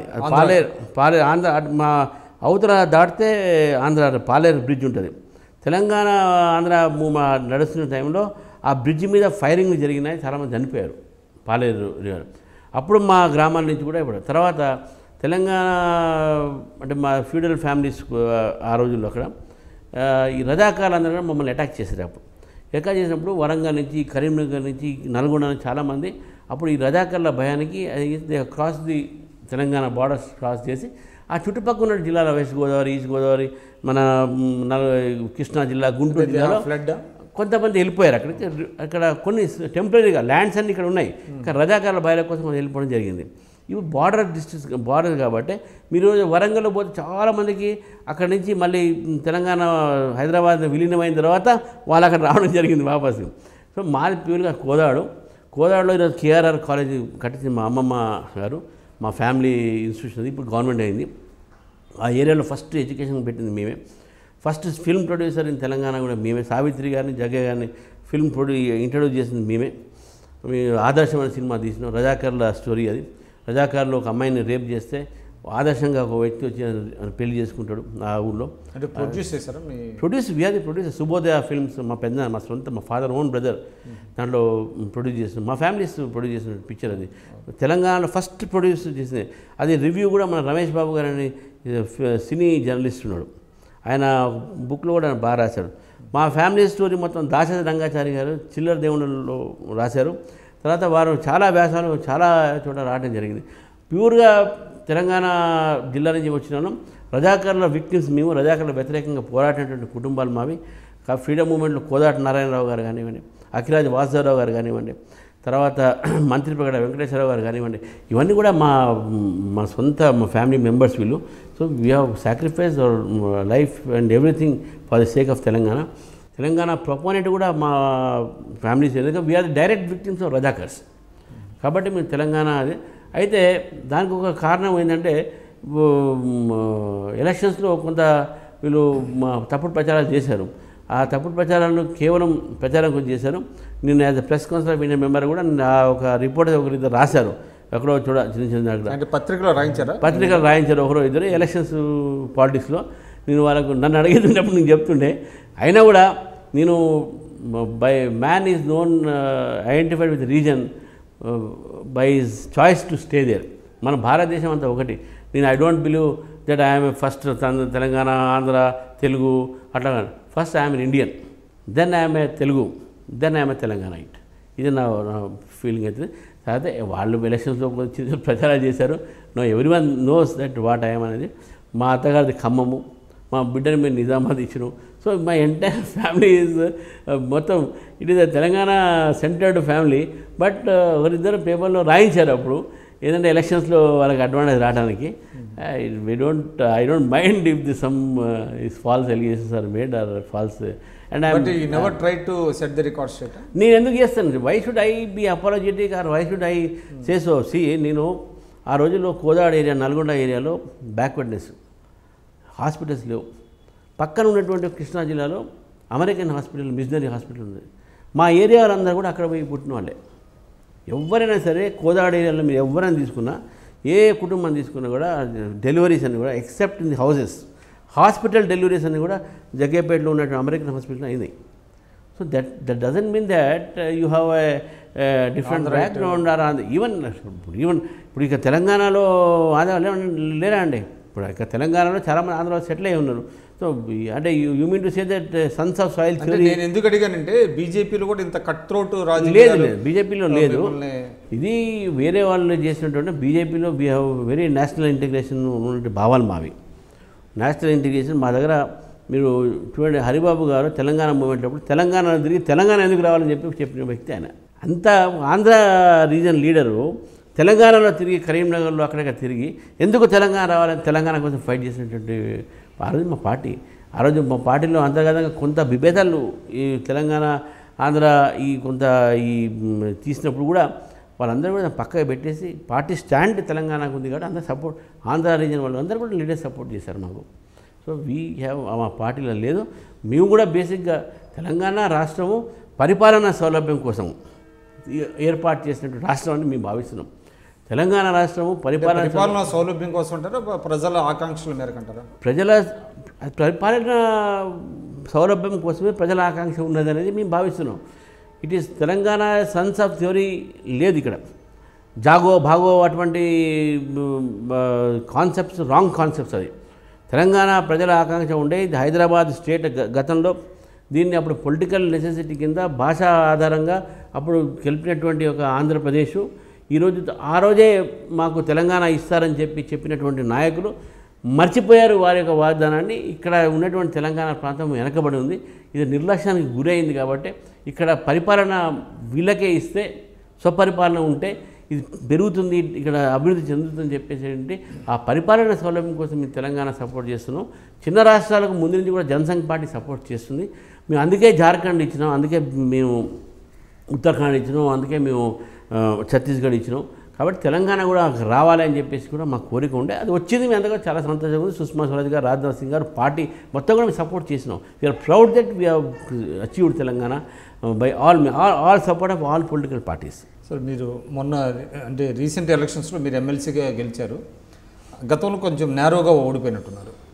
మొన్న ఎన్ని ఎంత అంటే మీకు? దాదాపు పద్నాలుగు వేల మెజార్టీ ఫస్ట్ రౌండ్లో నేను గెలిచాను.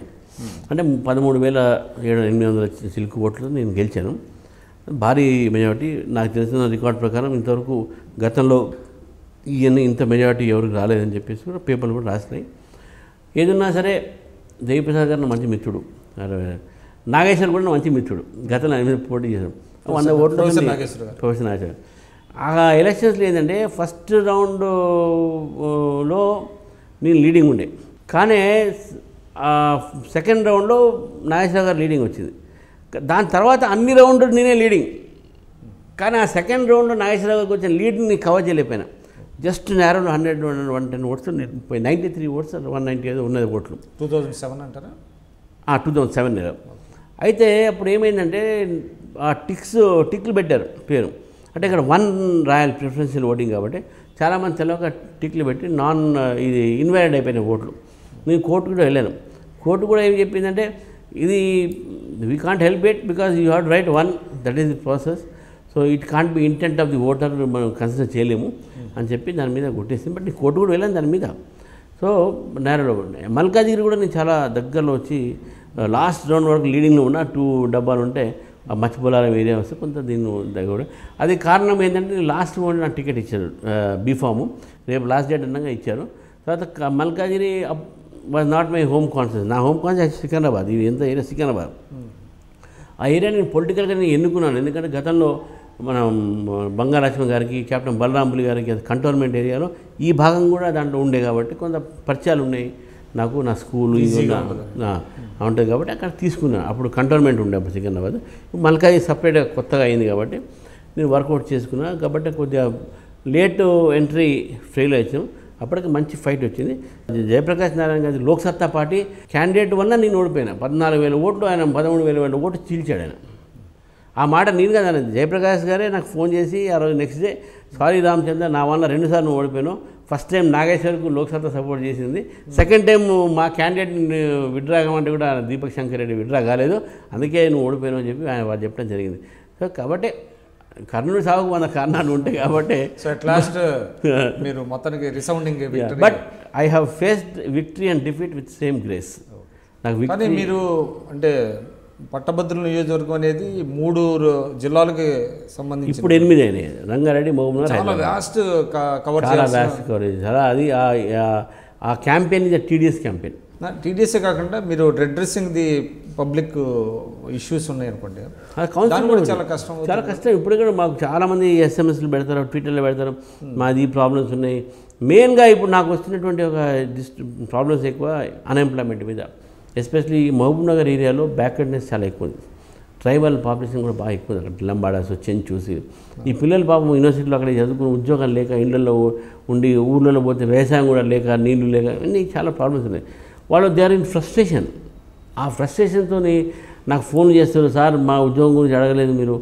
మీ డిఎస్సి ఎగ్జామ్స్ ఏం చేస్తున్నారు మీరు? మా టీచర్ల ఉద్యోగాలు ఇంకా ప్రకటించలేదు. ఈ విధంగా ప్రెజర్స్ చాలా ఉంటాయి.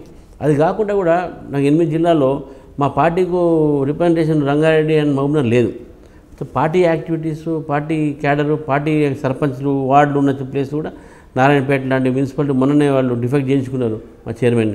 ఇవన్నీ కూడా వాళ్ళ డెవలప్మెంట్ కోసం దానికోసం హ్యూజ్ టాస్క్ అనుకుంటా it's huge task restless task apart from that నాకు బార్ కౌన్సిల్ ఆఫ్ ఇండియా నేను మెంబర్ని నాకు అడ్వకేట్స్ మీ వ్యక్తిగత వివరాలు ఇందాక కొంత చెప్పారు మీ ఫ్యామిలీ గురించి. మీ మీ పర్సనల్ విషయాలు ఏంటి? నేను యాక్చువల్లీ మా ఫాదర్ ప్రొఫెసర్ ఉస్మాన్ యూనివర్సిటీలో డీన్గా ఫ్యాకల్టీ ఆఫ్ ఇంజనీరింగ్గా రిటైర్ అప్పట్లో చెకోస్లోవేకియాలో చదువుకున్నారు వారు మా ఫాదర్ అదే మా తమ్ముడు కూడా రెక్టార్ జేఎన్టీయు తర్వాత రిజిస్టర్ కూడా ఉండే. మా సిస్టర్ డాక్టరు ఇంకో తమ్ముడు అమెరికాలో ఉంటాడు. ఆయన అక్కడ న్యూ జెర్సీ సెటిల్ అయిపోయాడు. ఆ, అతను కూడా ఇంటర్ క్యాస్ట్ మ్యారేజ్. మా అమ్మాయి కూడా ఇంటర్ క్యాస్ట్ మ్యారేజ్. షీఈ్ సంతోష్ రెడ్డి గారు మినిస్టర్ ఉండే వాళ్ళ అమ్మాయి. సో మా తమ్ముడు కాపు అమ్మాయిని చేసుకున్నాడు. తర్వాత కొంత అభ్యుదయ భావాలు అదే వాట్ ఐ కాల్ ప్రోగ్రెసివ్ అని అంటారు. ప్రోగ్రెసివ్ ఫ్యామిలీ అంటారు. బట్ నేనేమంటా అంటే it is human family. We we don't believe in all this we're we believe that we're Indians first basically ఆ లాంగ్వేజ్ మేము ఆ ఐడియాలజీలో మేము పెరిగిన ఉన్నాం కాబట్టి మేము మా ఇంట్లో ఎవరు డౌరీలు తీసుకోలేదు మేము డౌరీలు ఎవరికి ఇవ్వలేదు మా ఫాదర్ కూడా తీసుకో ఆ రోజుల్లో. మా ఫాదర్ డౌరీ తీసుకోకపోతే మా నాన్నమ్మ కోపం వచ్చింది. అట్ మనం డౌరీ తీసుకోకపోతే అట్లా మనం అట్ అన్నీ అట్లే ఆమె అటెండ్ చేయలేదు పెళ్ళికి. డౌరీ తీసుకున్నందుకు. మా నాన్నమ్మ అటెండ్ చేయలేదు మా ఫాదర్ పెళ్ళి. అండ్ మా ఫాదర్ అండ్ మా తాతయ్య మా మదర్ వాళ్ళు పెద్ద ల్యాండ్ లార్డ్స్ ఆ రోజుల్లో అనంతగిరి సంస్థానానికి. సో అయినా కూడా మా ఫాదర్ తీసుకోకపోతే మా నాన్నమ్మ కోపం వచ్చేది. అంటే మేమంతా కూడా చిన్నప్పటి నుంచి కూడా ఒక నేను చిన్నప్పుడు బీహార్లో పెరిగినా. జార్ఖండ్. ఇప్పుడు రాంచీ. మా ఫాదర్ అక్కడ బీఐటీలో ప్రొఫెసర్ ఉండే. సో అక్కడ సెవెంత్ క్లాస్ వరకు చదువుకున్నా తర్వాత ఇక్కడ కేంద్ర విద్యాలయం గవర్నమెంట్ స్కూల్ చదువుకున్నా. Degree railway degree college railway degree college నేను మూడు సంవత్సరాలు ప్రెసిడెంట్ స్టూడెంట్ యూనియన్ ఇంతవరకు ఆ రికార్డ్ బ్రేక్ కాలేదు. యూనివర్సిటీలో అది record a person getting related for three years continuously as president తర్వాత ఎంఏ పొలిటికల్ సైన్స్ చేశాను. రెండుసార్లు నేను రాడికల్స్ మీద ఓడిపోయాను. జనసేన ప్రెసిడెంట్గా జనసేన జాయింట్ సెక్రటరీగా తర్వాత ABVP నుంచి. నేను ఏబీవీపీ యాక్టివ్ సెవెంటీ సెవెన్ నుంచి ఉన్నా. సో అట్ లా కాలేజ్లో టూ టైమ్స్ నేను జనసేన గెలిచాను అక్కడ. లా ప్రాక్టీస్ స్టార్ట్ చేసిన తర్వాత ఇప్పుడు నేను సీనియర్ డెసిగ్నేట్ కూడా అయినా. బార్ కౌన్సిల్ ఆఫ్ ఏపీకు ఫస్ట్ టైం గెలిచాను. తర్వాత ఇప్పుడు సెకండ్ టైం కూడా గెలిచి బార్ కౌన్సిల్ ఆఫ్ ఇండియాకు మెంబర్ నేను. So press council of India కూడా మెంబర్. మొన్ననే నేను ఆ పోస్ట్కు త్యాగం చేసి వేరే వాళ్ళకు ఇప్పించాం బార్ కౌన్సిల్ ఆఫ్ ఇండియా మాత్రం ఉన్నది. దాంట్లో దానివల్ల మొత్తం దేశంలో ఉన్నటువంటి లా కాలేజెస్ లీగల్ ఎడ్యుకేషన్ తర్వాత లాయర్స్ ఒక ప్రొఫెషనల్ రెగ్యులేషన్స్ కూడా మేమే చేస్తాం. ఇట్ రెగ్యులేటింగ్ అథారిటీ సో ఇవన్నీ కూడా యాక్టివిటీస్ మనకు ఉన్నాయి చాలా. నేను లా ఉస్మాన్ యూనివర్సిటీ లా అల్మినీ ప్రెసిడెంట్ని కూడా నేను. ఈ విధంగా full of activities full of act లైఫ్కు full so రీసెంట్గా మా వైఫ్ ఎక్స్పైర్ అయ్యేది ఈ మధ్య. మా సత్తుపల్లి ఆమె యాక్చువల్లీ. ఖమ్మం ఖమ్మం జిల్లా.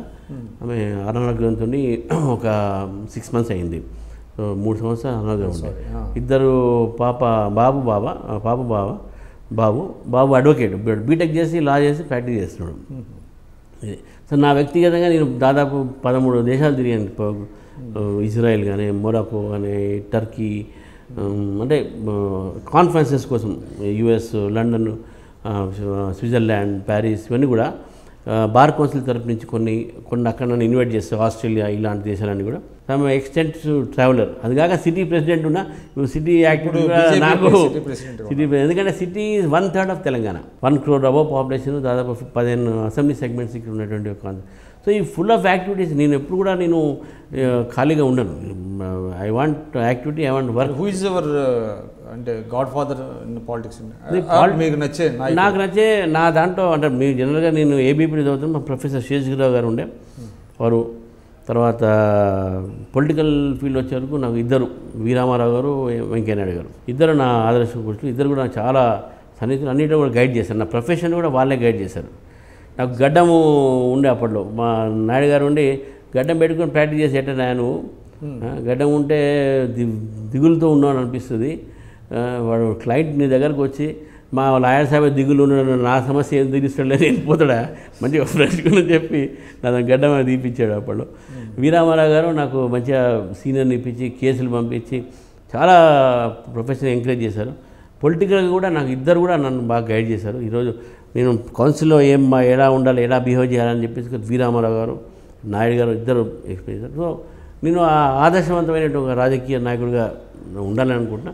నాకు సెన్సేషనిజం కానీ పవర్ మీరు కౌన్సిల్ మెంబరు అంటే కౌన్సిల్ ఏ విధంగా నడుస్తుందండి మీకు సాటిస్ఫాక్టరీగా? తెలంగాణ లెజిస్లేటివ్ కౌన్సిల్ అంటే అన్ని పార్టీ మ్, నా నాయకులలో చాలా బ్రహ్మాండంగా బిహేవ్ చేస్తారండి. ఆ పెద్దల సభ అంటే నాకు పెద్దల సభ అని స్వామిగౌడ్ గారు చైర్మన్ గారు కూడా చాలా హుందాతనంతో హౌస్ నడుపుతారు. ఆ విషయంలో గవర్నమెంట్ని కూడా కొంత అప్రిషియేట్ చేయొచ్చు అనుకుంటా. అంటే the way it conducting council work మాత్రం we'll definitely appreciate the chair and also the members Congress members అయినా సరే ఇటు టీఆర్ఎస్ మెంబర్స్ అయినా సరే. You don't want to give give అంటే టు ద గవర్నమెంట్? అంటే గవర్నమెంట్ ఇప్పుడు మా దగ్గర ఎట్లుందంటే గవర్నమెంట్ అసెంబ్లీ మంచి నడిపితేనే గవర్నమెంట్ నడిపినట్టే. కౌన్సిల్ అంటే పెద్దల సభ కాబట్టి ఆ మెచ్యూరిటీతో మేము మేము we know how to behave our selves but you control your assembly me speaker uh, anti defection మీద వచ్చినట్టు అప్లికేషన్ ఇంతకు డిస్పోజ్ చేయలేదు. How what public will be thinking that because government has instructed the speaker is not disposing it where speaker should be independent authority how can so we can't acknowledge the government's role and we can't appreciate the government's role in that as far as uh, upper house is concerned council is concerned we appreciate the chair we appreciate the members and their understanding towards the concept of the upper house ఇది పెద్దల సభ ఈ issues జరగాలి అక్కడ చాలా serious discussion జరుగుతాయి unfortunately ఏంటంటే TV వాళ్ళు కానీ మీడియా కానీ telecast ఉండదు. ఇవి లైవ్ మా చేయరు అక్కడ చేస్తారు ఎందుకంటే అక్కడ గొడవలు ఎక్కువైతే కదా అసెంబ్లీలో ఈవెన్ ప్రింట్ మీడియా కూడా పెద్దగా చేయట్లేదు అందుకే నేను చైర్మన్ గారితో కోరినాము. వారు కూడా మీడియాని పిలిచి ఒకసారి లంచ్ పెట్టి వాళ్ళు ఎక్స్ప్లె రిక్వెస్ట్ చేసుకున్నాం మేము. బాబు మా మాది కూడా కవరేజ్ చేయండి. అంత చేయకుండా సరే కొంత నీయండి అని చెప్పి మేము కొన్ని కొన్ని మంది రాస్తున్నారు లేదని కాదు but it's a it's a new experience good experience. And you are enjoying all the rules అండి రోల్స్ అండ్ నాకేంటంటే రాజకీయాల్లో నాకు ఫస్ట్ యాక్చువల్ పార్లమెంట్ మీద చాలా ఇంట్రెస్ట్ ఉండే. నేను పార్లమెంటు ఎంటర్ కావాలని నాకు చాలా కోరిక. ఎందుకంటే నేను ఫస్ట్ నుంచి కూడా నేను చదివిందంతా కూడా బీహార్ అటు సైడ్ అంతా నేషనల్ అవుట్లుక్తో పెరిగిన వ్యక్తిని. లాంగ్వేజెస్ కూడా మీకు అడ్వాంటేజ్ నేను English Hindi Telugu and even I understand Kannada Tamil కొంత కొంత బెంగాలీ కూడా నేను మాట్లాడగలుగుతాను కొంత. కదా మై ఎక్స్టెన్సివ్ ట్రావెలింగ్ ట్రావెల్ చేస్తే కాబట్టి నాకు అంటే అంటే టూ థౌజండ్ నైన్టీన్లో అటువంటి ఆలోచన నాకు ఆలోచన ఉన్నది. చూసాం letters hope so all the best sir thank you sir thank you please subscribe to I dream